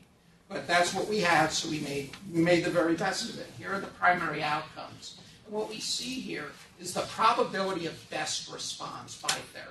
So the red is daily ICS, the blue is as needed ICS, and the yellow is um, daily LTRA. And what you see, and the gray bars across the bottom represent the non differential responders spread equally across the three groups. Okay, because we didn't respond, so we just spread them equally. Whoops, I'm sorry. These are the slides we don't have. These are the slides you don't embargoed. have. Yes. But if you follow JACI online, you'll, you'll see all of this in the very near future, I promise. What you can see is that daily ICS is the therapy most likely to result in the best response. The highest proportion of patients with a single drug that was the best, daily ICS was likely to be that drug, with comparable proportions for intermittent ICS and for daily LTRA. So just like in Badger, there are patients for whom the two therapies that didn't win were still the best.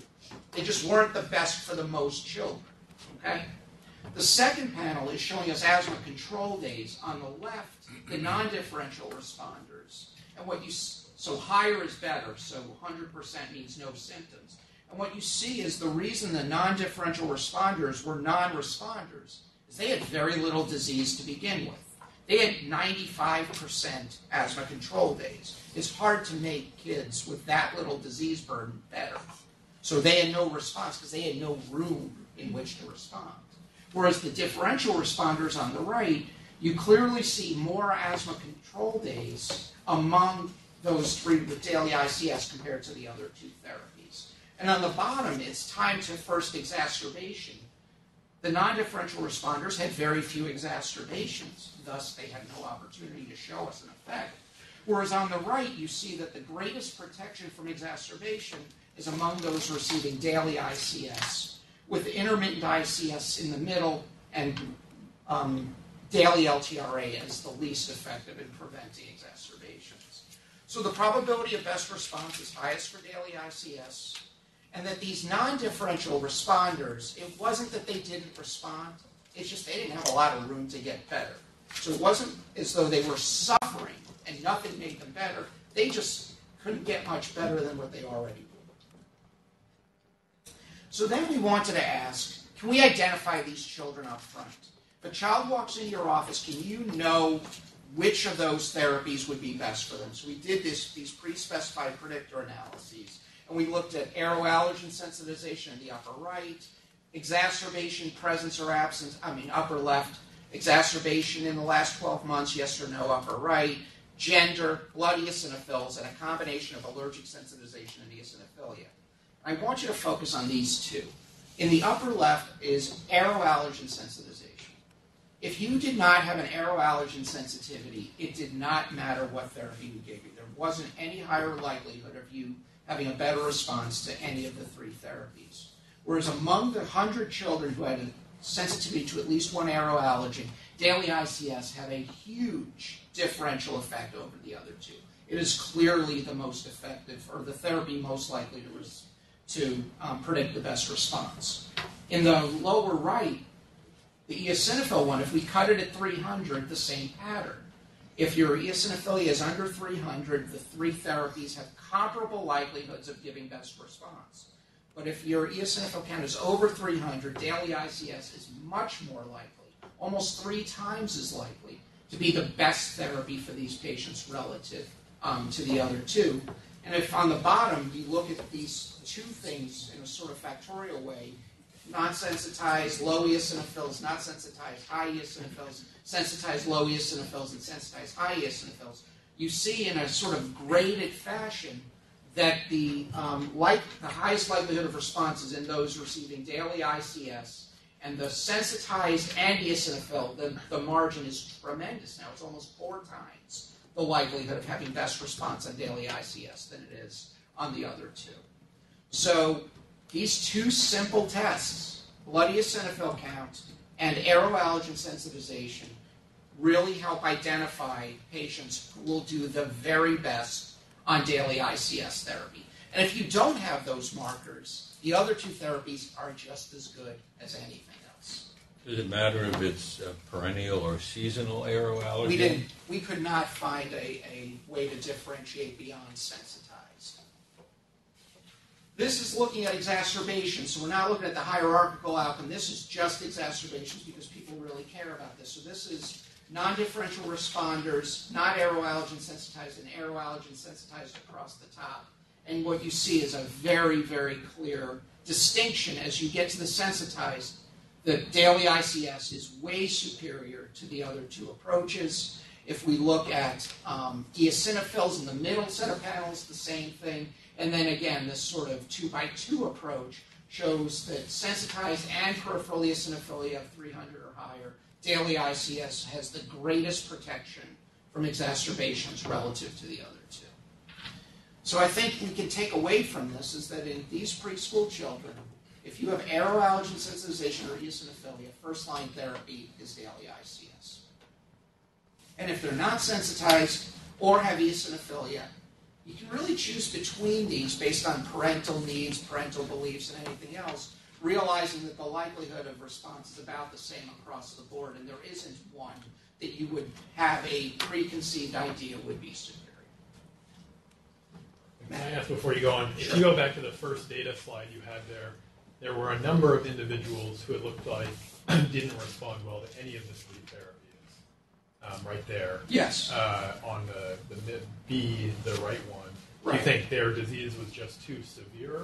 Uh, Too mild. or- Too mild. There was just no room for them to get better. But no, not the gray ones, but the, the, the on your box plot in um, panel B on Yeah. the right, the differential responders are those. Am I reading it Right. wrong? Those So, are, so the non-differential responders are the gray ones. right. But then the, the next one over, you have another Yes, yeah, there were some who had who had challenges. Yes, there were. And you think was that was the enrollment criteria such that uh, those those were just too severe, where you think they were a higher step level, Um, or they're non-responders to any of these drugs? It's. It, I think that's really tough to know. We don't think that they had too severe a disease. They may have had, you know, these these were 16 week treatment blocks, 12 of which are evaluated. So there's going to be some seasonal effects. There's going to be some viral infection effects. You may have caught them on a bad cycle. You know, if doesn't matter what you're on, you get the you know you get rhinovirus C, Yeah. you're going to have a bad block almost regardless of what you're taking. So I think there are other factors, but there's there's clearly a spread, but you know there are more of them in the in the non-daily ICS. Right. True. Yeah. So I, I think it, it this really reinforces the guideline assessment that daily ICS is the preferred therapy. This is the first sort of direct head-to-head that I think we can know. This is placebo-controlled, or at least it's double dummy. There wasn't a placebo arm because we always felt that that was unethical, realizing that, that placebo probably isn't um, appropriate for this amount of disease. That makes sense. All right, so it's a slight transition, but I think you'll understand why we're going to make it. So we're going to talk about acetaminophen and asthma for a little while, and, and you're going to say, why are we talking about this? Well, acetaminophen is the single most commonly used medication in the United States, number one across the board, more frequent use in young children. And there's a lot of epidemiologic data that suggests that in known asthmatics, acetaminophen use increases asthma morbidity, exacerbation risk, and exacerbation severity. The problem is it's all epidemiologic, it's all observational, and it's all retrospective. But there was a flurry in the literature about how a, children with asthma should not receive acetaminophen because it's problematic. It depletes glutathione, it does all sorts of things that makes asthma worse, and young children shouldn't be taking this. And we said, that seems probably unnecessary. And while we're doing this infant trial, we can probably answer this question. So we layered this study right on top of infant, exact same study population at the same time. So in addition to the medicines that they took in infant, they were also randomized to either receive acetaminophen or ibuprofen for pain or fever as the parent would normally give it, and that was continued through the duration of the infant study. So it gave us the opportunity to really ask two questions at once. These are linked but not um, uh, the same study. We considered these totally separate studies. We call this one AVICA. And the question there is in young children with mild persistent asthma, the number of exacerbations requiring systemic steroids will be more frequent in those who were randomized to acetaminophen than those randomized to ibuprofen when used for fever or pain. We used doses that made them equivalent in their efficacy from the literature. They were the same volume, they tasted the same, the parents couldn't tell a difference. They were to get the same one over the study. We allowed for open label use of their pain reliever or fever controller of choice if they felt the study medicine wasn't working, but we captured that extra use as well. And our primary outcome was exacerbations per subject per year, which were re- severe enough to require oral steroids. And what you see here are the primary outcomes. In the acetaminophen group, 0.96 per subject per year. In the ibuprofen group, 1.01 per subject per year. P-value of 0.67, a relative rate of 0.95. Absolutely no difference in exacerbations between the two therapies. And there was no interaction effect with the infant treatment. So it didn't matter if they were receiving Montelukast at the time or ICS at the time. These numbers held true. There was absolutely no difference, no signal of heightened risk with acetaminophen relative to ibuprofen or vice versa. This is the cumulative risk to a first exacerbation in a Kaplan-Meier analysis. It doesn't take a whole lot of statistical knowledge to realize those two lines are really the same. There's absolutely no difference um, for the two. If we look at how much acetaminophen or ibuprofen parents gave, what you see here is as the number of exacerbations goes up on the horizontal axis, the exposure to both acetaminophen and ibuprofen goes up, so that the children who had more episodes received more doses, and the children who had fewer episodes received fewer doses. Um, this is really what we thought the literature was trying to teach us in the first place, which is that this is a problem of confounding by indication, right? Why are they was the acetaminophen causing the outcome of increased exacerbations? Was the acetaminophen a marker of something else? And that marker of something else is colds. So the kids have colds, the kids get fever, the kids get an anti-fever medicine. The colds cause the exacerbations, but the fever medicine is the marker for the exacerbation, and therefore it looks like they're causal, when in reality, it's all just confounded by indication. And much of the literature around antibiotics that do this probably have the exact same problem. They're probably all just markers for viral infections rather than causal from the drug of interest. If we look at asthma control days, if we look at rescue albuterol use by treatment arm, there's absolutely no difference whether the children were treated with acetaminophen or ibuprofen um, during periods of fever and pain. There's no difference in emergency, urgent care, hospitalization. Absolutely nothing. This is a stunningly negative um, paper. And, you know, New England Journal doesn't really take stunningly negative papers that are set up to be stunningly positive papers. So this study was set up as a superiority study. Acetaminophen was supposed to be worse. We didn't set this up as a non-inferiority to show they're the same.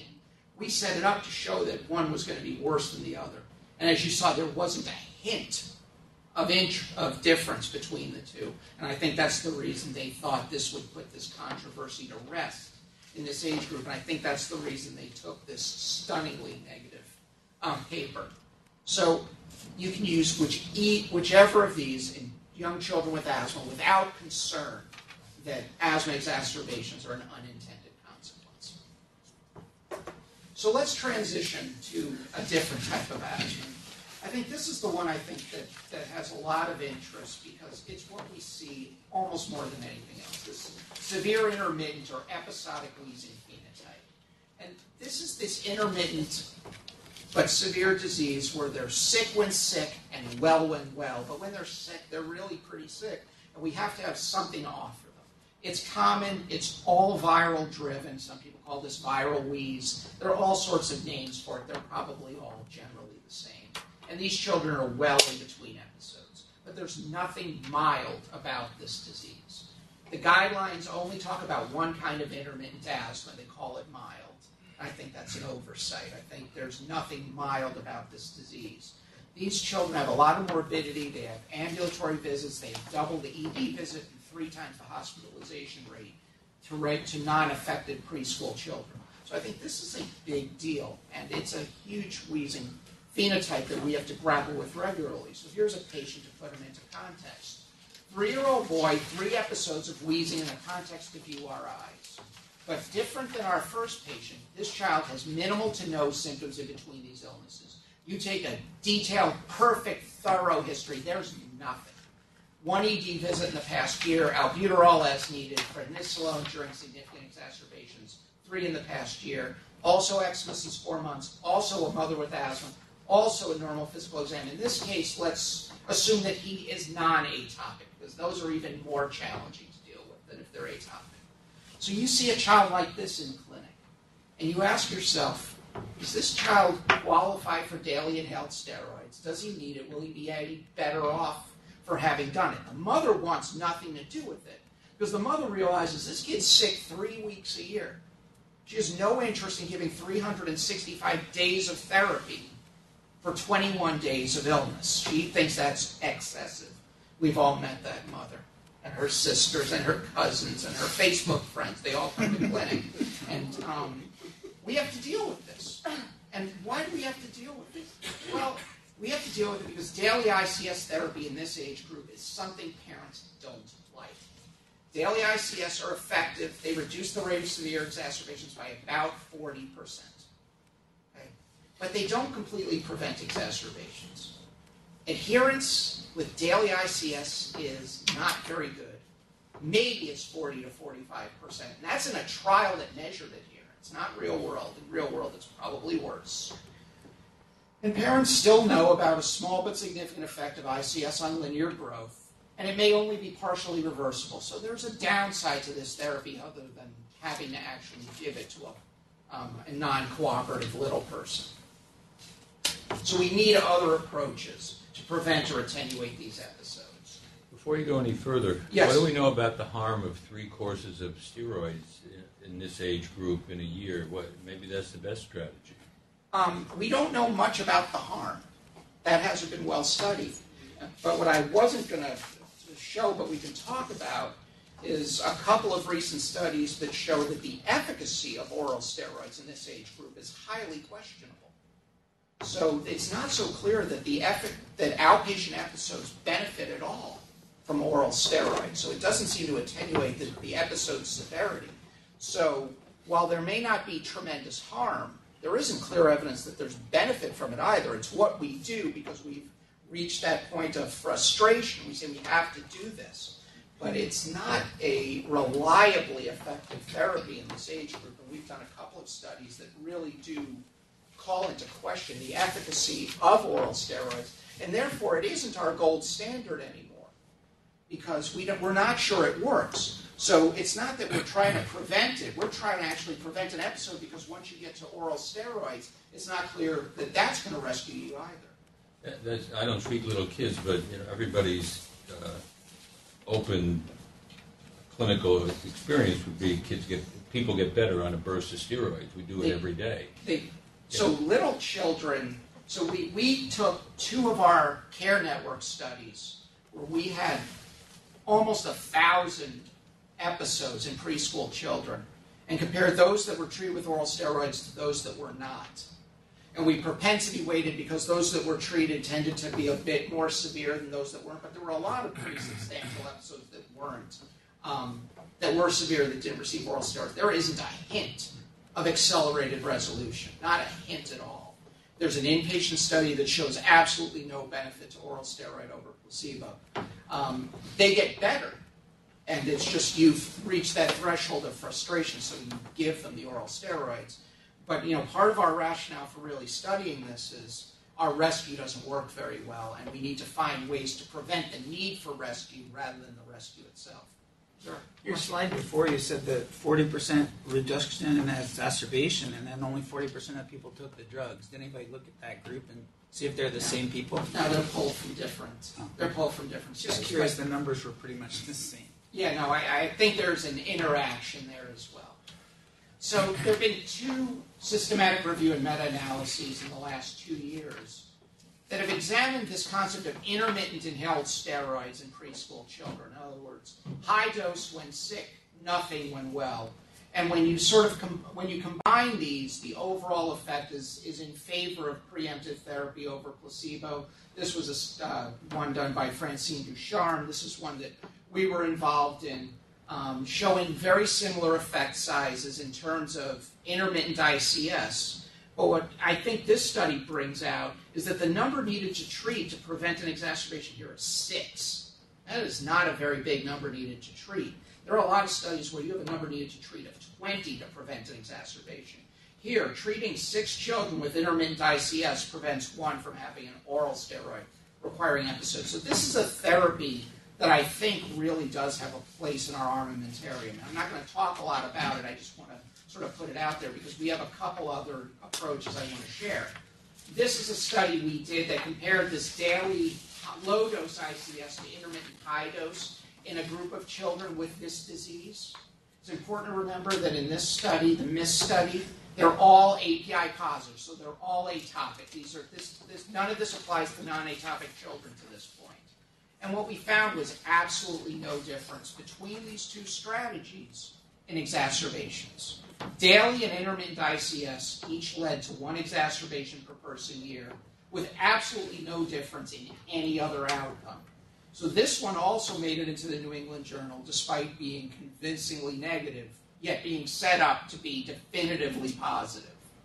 We wanted to do it to prove that daily was superior to intermittent, and we couldn't find a single outcome measure that showed that to be the truth in this age group in API positive children. And the advantage to the intermittent therapy is they get one third of the drug exposure over a year, and they have no, no negative consequence to that. So this is a therapy to really consider. I have a question. Yes. Uh, was there a timing requirement for, in other words, in the study, I'm going to give you the high dose, you know, from onset of symptoms Yeah. to when you do it? Because I I find clinically that's always an issue. Like the parents wait till day six. Right, so I should have mentioned that. So this is all early therapy. Every family had a history taken.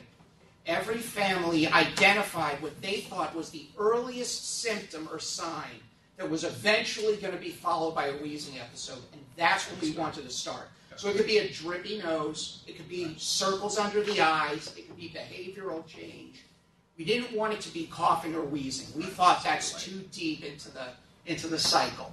Now, did every parent follow that precisely? No. But on the whole, they moved their start point earlier, and that's probably a major factor as to why it's effective. Okay? So, where, how did we get here? Well, daily ICS has a huge literature base supporting it. We've seen that. Intermittent therapies have a smaller number of studies, but they're, be, they're very consistent with one another. Remember, this is all about mild asthma. This has no place in moderate to severe disease in this age group. And the education about when to start these non daily therapies is essential for them being effective. But I'm going to transition to the role of macrolides for the prevention of acute wheezing because I think this is this is different. Okay, we're, we're going to get out of our ICS comfort zone and talk about something that Before, makes people uncomfortable. this Yes. topic, isn't isn't the uh, availability of beclomethasone and albuterol in some countries? So you're using a PRN albuterol, but you're getting a dose of beclomethasone. Yes. Why don't we have that here? Um, uh, we don't. You're right. Um, and industry at the moment still has no great interest in pursuing that. The, the FDA is part of it. You know, they're, the FDA has not bought into this as-needed ICS concept. That no drug has an indication to be used the way we're using it. There's the whole smart literature that's very clear that it's effective. We don't have that either. So I think it's an extension of that. But you're right. Beclomethasone albuterol combination exists in many countries. Mm-hmm. It doesn't exist here. When we need to do it, it's two inhalers, and you got to do Yeah. one and then the other. It's a little on the clunky side. But on the other hand, if you're willing to tolerate the clunkiness Oh, yeah. and you're the right type of patient, it's it's a it's a reasonable therapy. All right, so macrolides for the prevention of acute wheezing in young children. So the first statement has to be that antibiotics are not recommended by national guidelines for use in wheezing illnesses. Okay, that's every guideline says that. Every asthma guideline says it, and every infectious disease guideline. Despite that, one in six U.S. ambulatory visits for asthma leads to an an antibiotic prescription. A guideline is not being followed by much of anybody. Right? Viral infections are the most common trigger of wheeze, but it's also becoming increasingly clear with, with DNA based detection that bacteria actually have an emerging role in the pathogenesis of wheezing disease, especially in young children. And we've known for years that macrolides provide benefits in other inflammatory diseases like cystic fibrosis through mechanisms that don't seem to be related to their ability to kill bacteria. They have some anti inflammatory property that's been poorly characterized, but I think most of us believe exists. So we asked the question would the early administration of azithromycin started prior to the onset of severe lower respiratory tract symptoms, the exact same way we did it with the intermittent ICS, the exact same treatment paradigm in preschool children with recurrent severe lower respiratory tract illness prevent the progression of these episodes to need for oral steroids. And this led us to the April trial, which um, was published late last year. And this, I think, is an, an important advance in our understanding of how to manage these children. This is a randomized, randomized double-blind, placebo-controlled, parallel group trial. Children received azithromycin 12 milligrams per kilogram per day, that's the maximum approved dose, or placebo once daily for five days. They started exactly the way we had started the, da- the intermittent ICS in the prior studies. Onset of symptoms that the parents identified as the predecessor to an episode.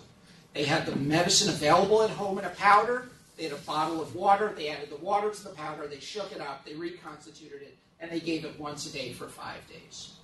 They were allowed to do this for up to four episodes over the duration of the study, which was a year and a half.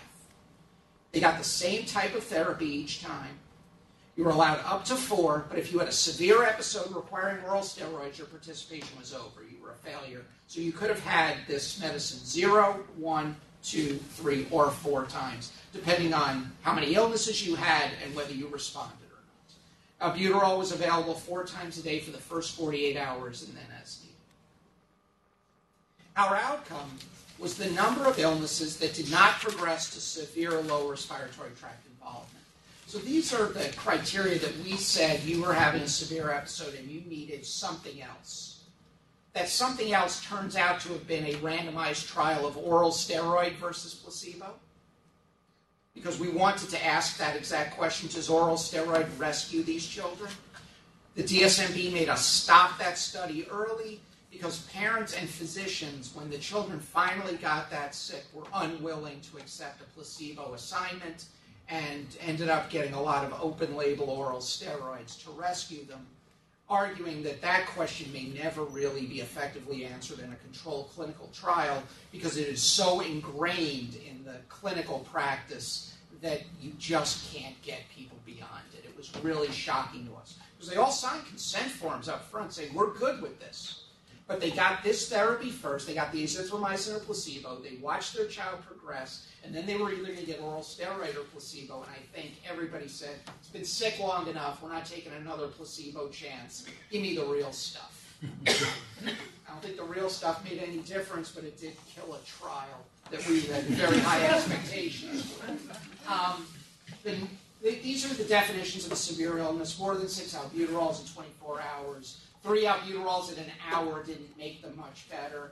Needing it more than every four hours, a prolonged exacerbation of at least five days, urgent emergent care, um, uh, acute care visits, or physician discretion. So I think these are pretty standard criteria for a significant episode.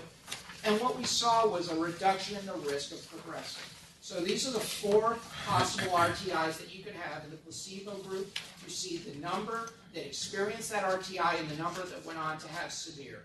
So 22 during the first illness, 19, 9, and 7, for a total of 57 severe RTIs in the placebo group. The first thing you can see in the azithromycin group is they had the exact same number of illnesses. There's no carryover. They didn't have fewer illnesses going forward. They had the exact same number of illnesses. But the number that went on to severe LRTIs is significantly lower just on first blush. And when you do a, a hazard ratio for the risk of progressing to severe lower respiratory tract illness at the first, the second, the third, or the fourth treated illness, you find an overall hazard ratio of 0.64, or a 36% reduction in risk of having a severe episode if you're receiving azithromycin over placebo. So a third reduction in the risk of, of oral steroids if you receive azithromycin relative to placebo adjusted for site, age, API status, season, um, etc. We then did a pre-specified subgroup analysis to figure out if we could identify which children responded. We did it because we thought that your ability to make IL-8 was relevant and that this drug has effects on IL-8 production. We found no significant difference although the children who had the TT genotype seemed to do better than those with the AA or AT genotype, but it wasn't statistically significant.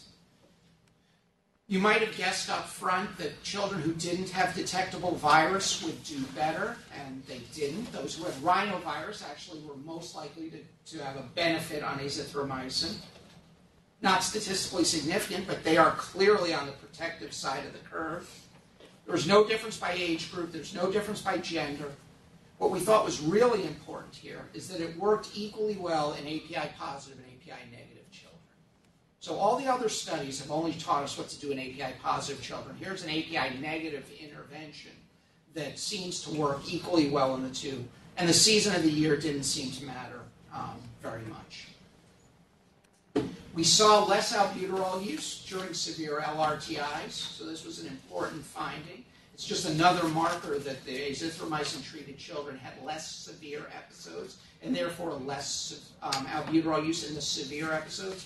In the non severe episodes, we saw no difference, but remember, we forced everybody to use it four times a day for two days. So there was only, there was a floor effect that we just couldn't get past.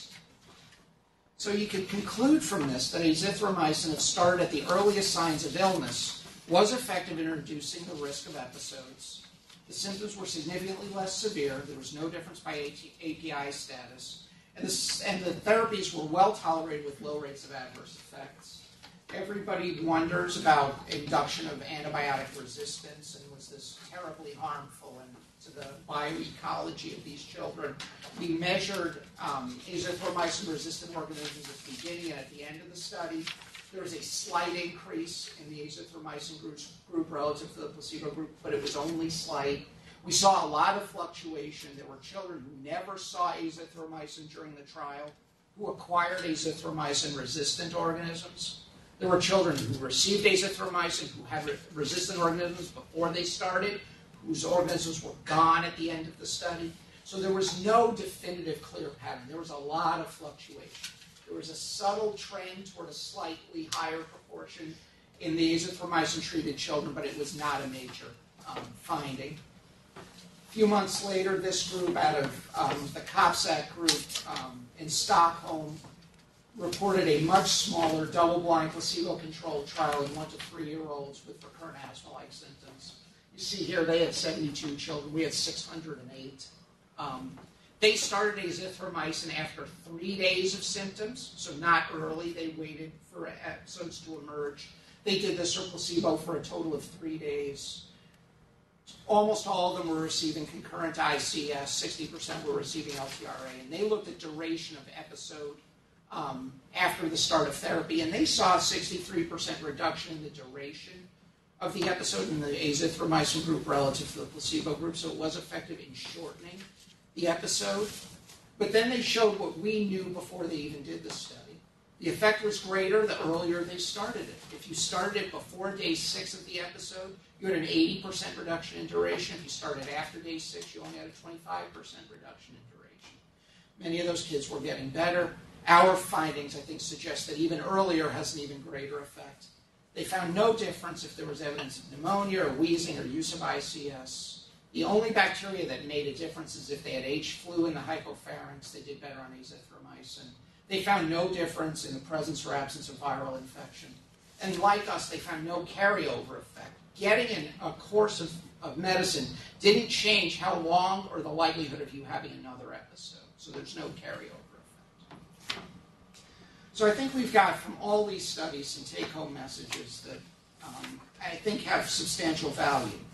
For step two care in preschool children with persistent disease, there's a differential response in three fourths of children, and that aeroallergen sensitization and or eosinophilia strongly predict a differential response in favor of daily ICS. Preschool children, Uh, this is preaching to the choir for sure, with persistent asthma should be tested for aeroallergen sensitization, and that should drive your decision making toward ICS versus something else. If They're not sensitized, you can choose it based on parent and clinician preferences more so than a clear superior favorite. And if the child does not respond to one of the controllers, and this is what we learned from Badger, and I think it's a really important. Failure to respond to a step two therapy doesn't mean go to step. It needs to go to something else in step two. Because again, three fourths of kids are going to respond to one of those therapies. So if you just happen to pick the wrong one, you still got a pretty good chance that one of the others might actually get the job done before you escalate to step three care. And I think that's going to save a lot of children a lot of higher dose ICS exposure. Work through those options before you move to the next step. In those who have severe episodic wheeze without evidence of persistence, we think a therapeutic trial of azithromycin early in the course of an illness should be considered to prevent progression to severe illness and need for oral steroids. Those who have a response to azithromycin may benefit from getting this with subsequent illnesses. We talk about this concern for antibiotic resistance, so you don't want to give them 100 courses of this a year. We don't really know what the upper limit is, but keeping an eye on it seems reasonable, and more data are necessary to really understand the clinical importance of these resistant pathogens. But what we don't know is how well this therapy really works on top of daily therapy.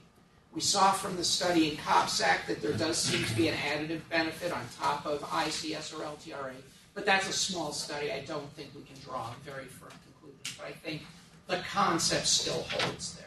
What do we know about azithromycin for other age groups? As an internist, is, should we do this in everybody? I don't think so. There was just a study published in Lancet Respiratory Medicine where they did this in adults presenting to the emergency department, and they randomized them to azithromycin or placebo. I have no idea how they got it into Lancet Respiratory Medicine because they only hit half their target sample size. And they only hit half their target sample size because ev- they had 4,000 people come through, and almost all of them had already been receiving antibiotics, so they couldn't find antibiotic naive people to add antibiotics to. So I think it's more of a commentary to how much antibiotics are being used already in this population than whether they work. They found no therapeutic difference, but they had a huge selection bias because antibiotic use was so prevalent in the community they studied it in that the people who weren't receiving it were clearly different than those who were. So I, I don't think we really know where it fits in. I think it still needs to be studied. There are some data that are supportive. There are some data that are against this therapy in, in adults. I mean, this Um, idea goes back 50 years about It using does. TAO. Uh, um, Those of us who are old enough will remember that, and uh, I don't think that drug's on the market anymore, but it was shown, I think, to be steroid sparing, but It was, but what, what turns out is that that interfered with methylprednisolone metabolism. Whether it was truly a, you know, you were looking for a drug interaction or a therapeutic effect. I think TAO really was a drug interaction. Did you look at the metabolism of the steroids in the people on Zithromax and see if it did affect the kinetics? People have looked, there's really no clear effect. Azithromycin, while being a macrolide, does not have the same P450 effects that the other macrolides do, like clarithromycin or erythromycin do. So there isn't a, we don't think that this is an interaction effect. And in our study, there was no steroid being used at all, so there was nothing to, to interfere with. So I think what we're what we've got is that there's a lot of a lot of heterogeneity in early life wheezing. It adds the complexity to our diagnosis and our treatment. We've talked about the controller approaches as ICS is the preferred therapy. That's where we started. That's where we ended. atopy is clearly a very strong predictor of ICS response.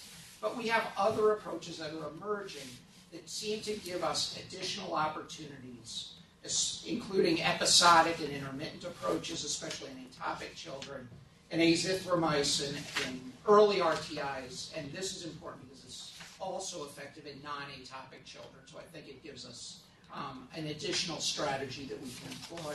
This was all, most of this work was done as part of AsthmaNet, um, which unfortunately is winding down its, its life cycle, but it was, uh, I think we've made some substantial contributions to our understanding of preschool asthma. That was our goal going in um, from the pediatric perspective, and I hope that this information has clinical relevance and that you can apply it to your patients and improve their lives.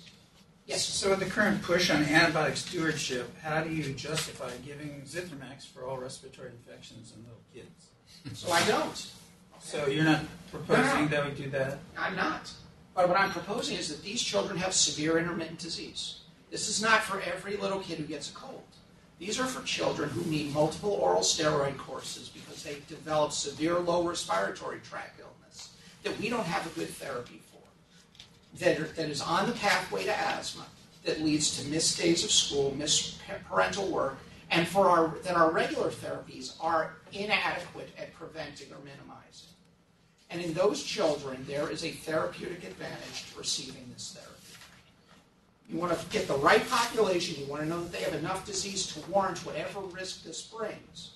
But this is a group that is underserved by our currently available therapies. We don't have much to give them. People have no hesitation giving them four courses of prednisone a year. But to give them two courses of Zithromax is heresy. And, and, and, and that's a real, you know, these are children who have a, a real problem. We have a therapy that works, and we have a therapy that we have no convincing evidence works. So I, I- think we're coming out on the side of we have evidence that says this works. There's a potential downside, but they're getting it anyway. We might as well apply it appropriately. Try to get the inappropriate use out, but to say that we don't want to use it because of all of this antibiotic concern we have, I think is a, it's a difficult balance that we're trying to find the sweet spot on. Um, your point is very well taken, but I think it's, it's really making sure the patients have enough disease to warrant it, but if they have enough disease, it's an appropriate thing to consider. I have a question. We have, as you know, a virtual audience. Chuck Jackson. I think I know what he's asking here. Here's what he typed. How has possible antibiotic effect of azithromycin as a possible explanation of benefits been ruled out. So I guess he's It asking, has. is it working as an antibiotic or an anti-inflammatory? Um, the, the flippant answer is yes. um, we are trying to tease that out. It is not an easy thing to tease out in clinical medicine. So we have nasal samples during all of these illnesses. We've recovered viruses from the 85% that you would expect. We did PCR and we found bacteria in a huge proportion of these as well. We're trying to figure out if it is an antibiotic or an anti-inflammatory or both. The problem is, using the DNA-based techniques, you can't tell the difference between a live bacterium and a dead bacterium. To a PCR machine, they're the same. So they keep showing up even in the day four samples. But we don't know if they're just remnants of bacteria we killed or they're still alive. We just don't know. There's a lot of work still going on trying to tease out what mechanism by which this occurs. What would have been fascinating is to do this study as a three-arm study, would have required 900 instead of 600 patients. But you put a third arm of augmentin, okay? Similar antimi- antimicrobial spectrum, but with nobody has any sense that that has anti-inflammatory properties. That's just a straightforward bactericidal antibiotic. But the other question is, are we talking about it conventional pyogenic bacteria, are we talking about things like mycoplasma? So we found no mycoplasma and no chlamydia in this study, even on day zero samples. So I don't think that's what it is. Every time I give this talk, the mycoplasma aficionados say, "You're just killing." These are not all mycoplasma infections. In fact, none of them. We found zero with confirmed mycoplasma. So I, I don't think that's how it's working. It could be killing H flu, absolutely. Could it have an indirect anti-inflammatory effect? You get rid of the bacteria, and the bacteria then have less inflammatory stimulus. Yes. Is it an anti-inflammatory like steroids, which are directly toxic to inflammatory cells? Probably not. There's some evidence that it has antiviral effects and it reduces rhinoviral replication in vitro. We're trying to tease out if it did that here. It's, that those are not easy experiments to sort out. But I think all of these things still give us uncertainty as to the mechanism by which it works. Um, so it's probably a little of both. I, I doubt it's purely antibiotic. I doubt it's purely anti-inflammatory. I think they they interact in some reasonable way. Any other questions in the room? It's just one more thing I thought I understood. Now I don't understand. That's the whole idea. That's, that's when we know we're making progress. That's when we know we're making progress because none of this stuff is straightforward, and there's there's always a, a wrinkle there that you want to try to understand better. And I think I think a lot of what we understood was from eras where we didn't have great diagnostics. You know, we you know with with PCR-based detection of bacteria, there's a lot more bacteria at work in the airway than we ever thought. We were all taught that lower airways were a sterile environment. They're not. There's plenty of bacteria down there. They're doing something. They're not just hanging around with nothing else going on. They're up to something, and they contribute to disease. So I, I think these are all reasonable. Well, do they, now now that you said that, do you think they are part of our healthy microbiome, just like they are in the gut and skin? Some, some of them are healthy and some of them are disease causing.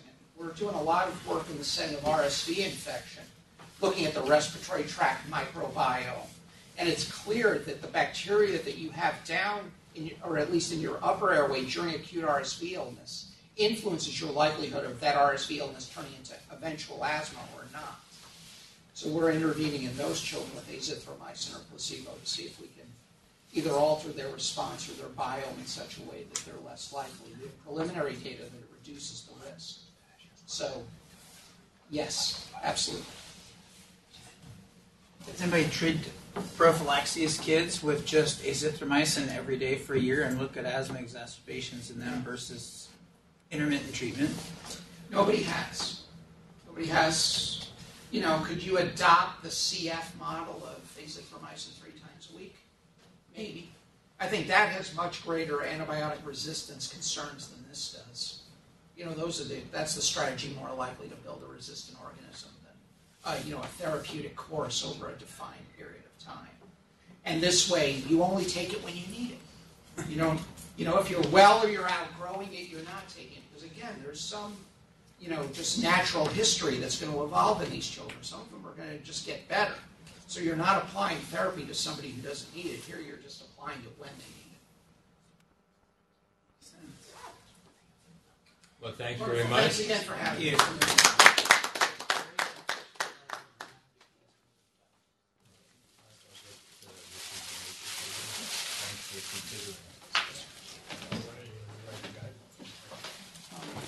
then I, when I sent that lady's email to you, can you just download it?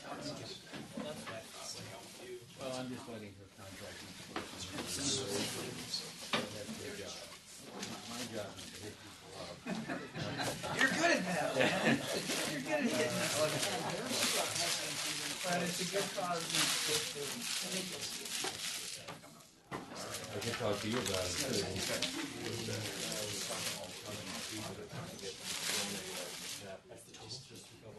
No, he's got some concerns.